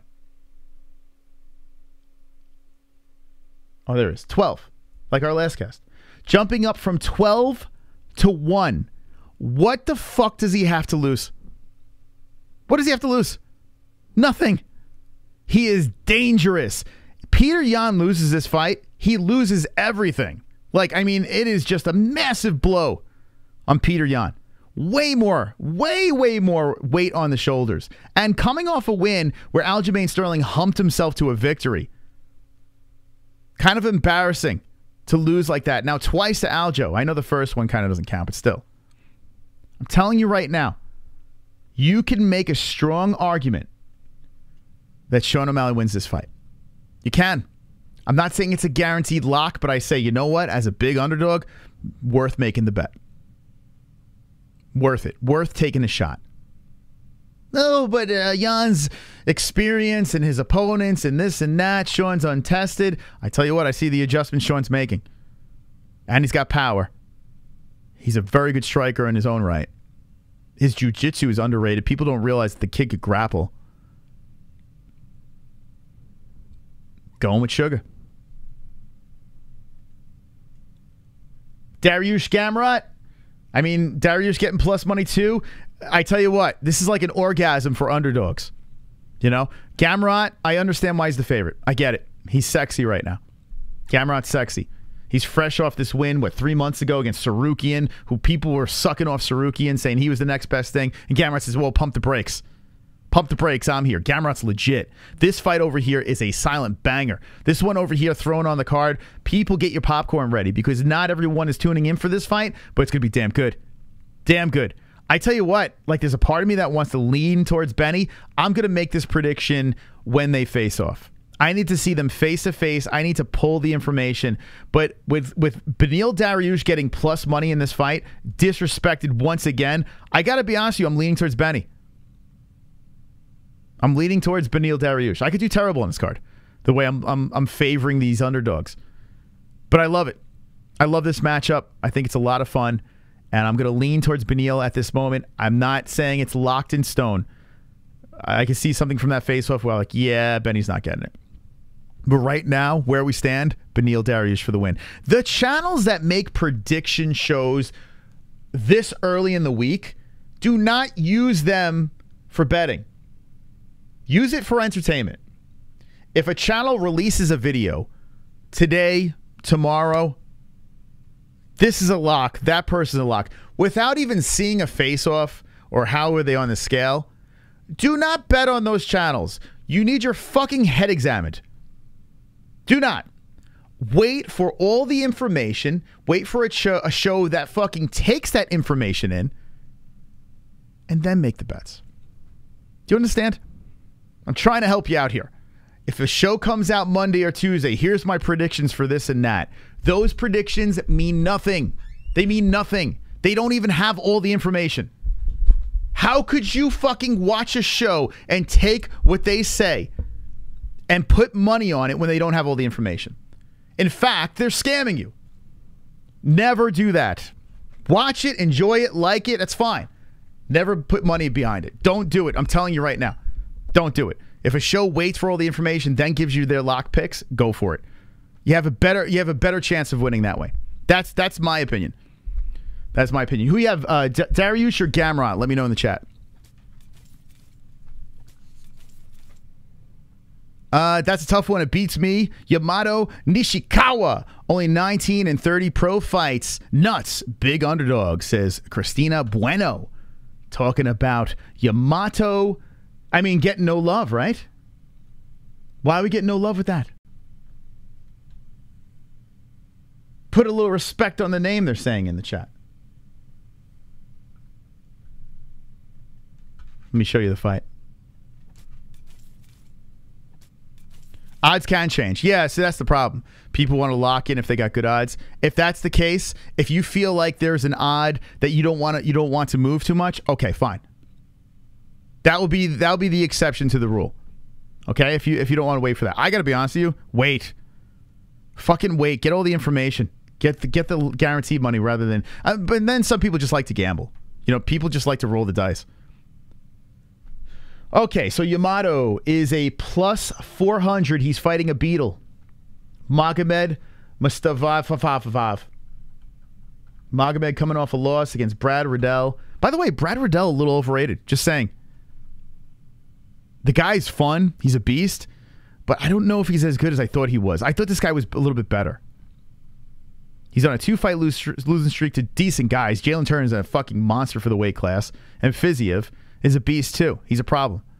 Beat Drew Dober, which is a really solid win. Hmm. Hmm. Anyway, I don't know. Riddell, you know, that's that's a whole nother conversation. But um this guy Magomed can I mean he's got the fucking Ringo hair. All he needs is that neck beard, and then boom, you got him. He's in his, you know, got home court advantage. This kid's only 19. Yamato, 19 making his debut. I got to be honest with you. I understand why he's the underdog.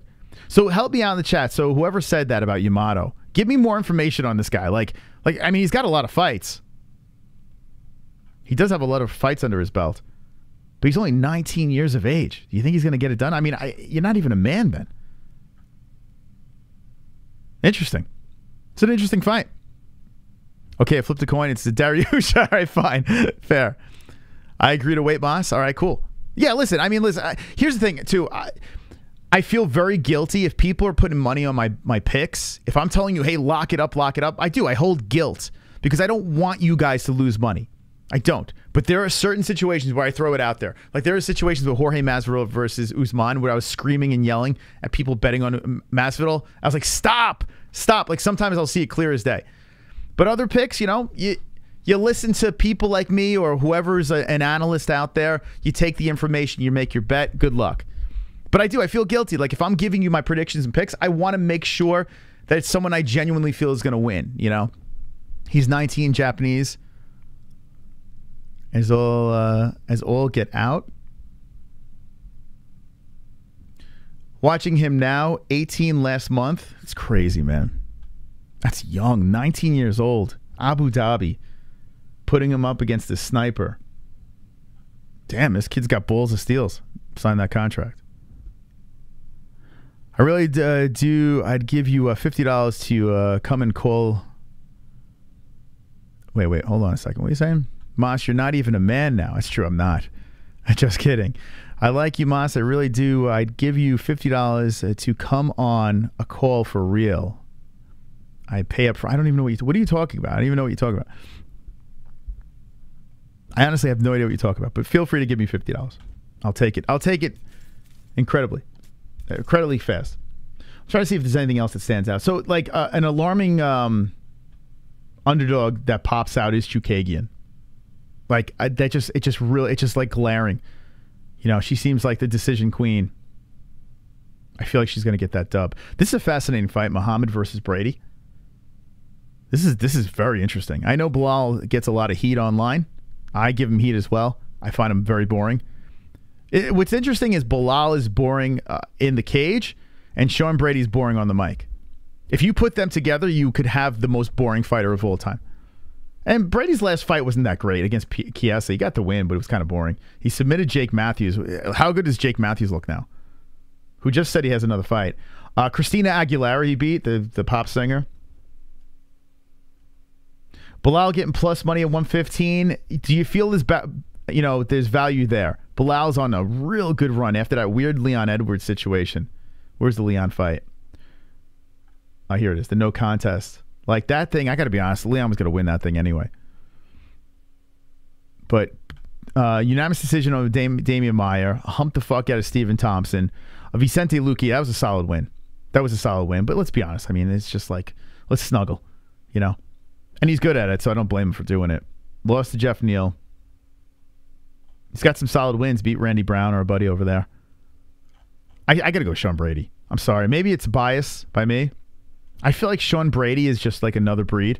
He's like built out of stone, and he could be boring too. But uh, I, I don't know. I just feel like he's a little bolder, like a little bolder. You know? Can I moon you? If YouTube let me, I would. Everyone must have forgot Islam is a, a steroid cheat. Did he get hit for? Did he get hit for? I think there. I think there is truth to that, right? Islam.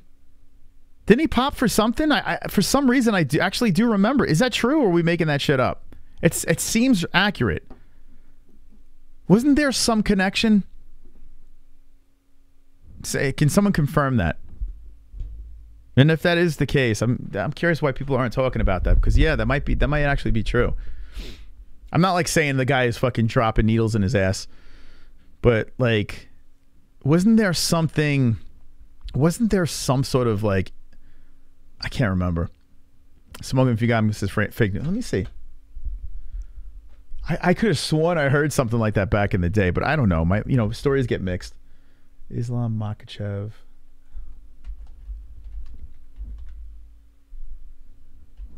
It's not like anyone's talking about it now. USADA finds Islam Makhachev not at fault for a Malone. All right, so he wasn't he wasn't guilty. Islam Makhachev accepts no fault after USADA investigation. Okay, okay, so there was okay, so there was something that was he was accused of, but he got out of after USADA investigation. Meldonium. All right, that was 2016. Yeah, I remember. I do remember there was something.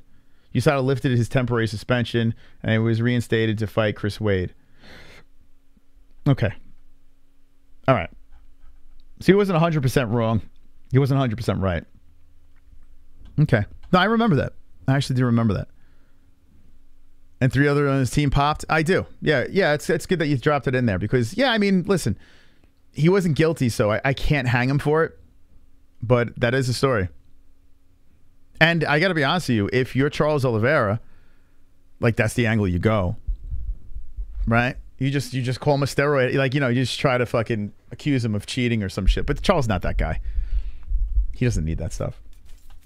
Belal versus Sean Brady, baby. Hit the like button. Who wins? Belal, Sean Brady. Who wins this fight over here between these two? Remember the name or the one with no nickname? Sean Brady, Belal Muhammad. I'm gonna go Sean. I'm going back to the favorites. I know I've been picking a lot of underdogs. I'm going Sean Brady. I think Sean's going to get it done. I, I this reeks decision, but uh, Sean Brady by a decision.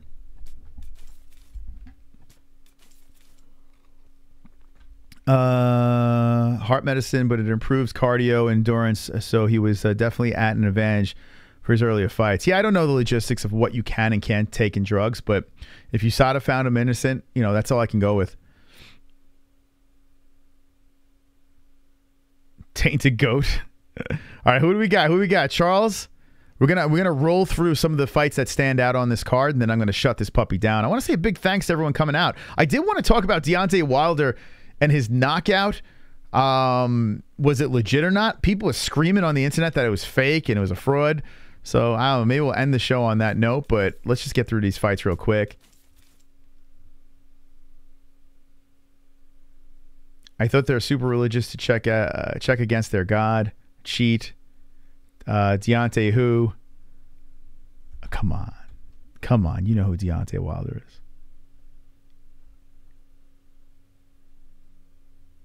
Did you guys fall asleep? All right, fuck you. Let's let's move on to uh, let's move on to the next fight. I think I think the I think the chat fell asleep. I don't know. All right, let's see. Ozdemir versus Krylov on this card. My goodness, buried on the card. Crazy. Mokaev, oh shit. He's fighting the guy from uh, Fringe, what was that TV show? This guy looks like that actor. I always pull him up. Malcolm Gordon. Malcolm Gordon now on a, a two fight win streak is a heavy underdog. Man, Mokaev has been a beast. Charles uh, Jordan Johnson, Cody Durden. It's a good fight. Woo! Ten years age difference over here. Damn, this is a this is a banger over here. This card is this is sweet, man. This is the second fight on the card. And then the goat, Lina Länsberg, 50 years old. Still doing it. Nah, she's 40. I added 10 years. Still doing it. Surprised they put a women's two women's fights on here. Shocked. That's unacceptable.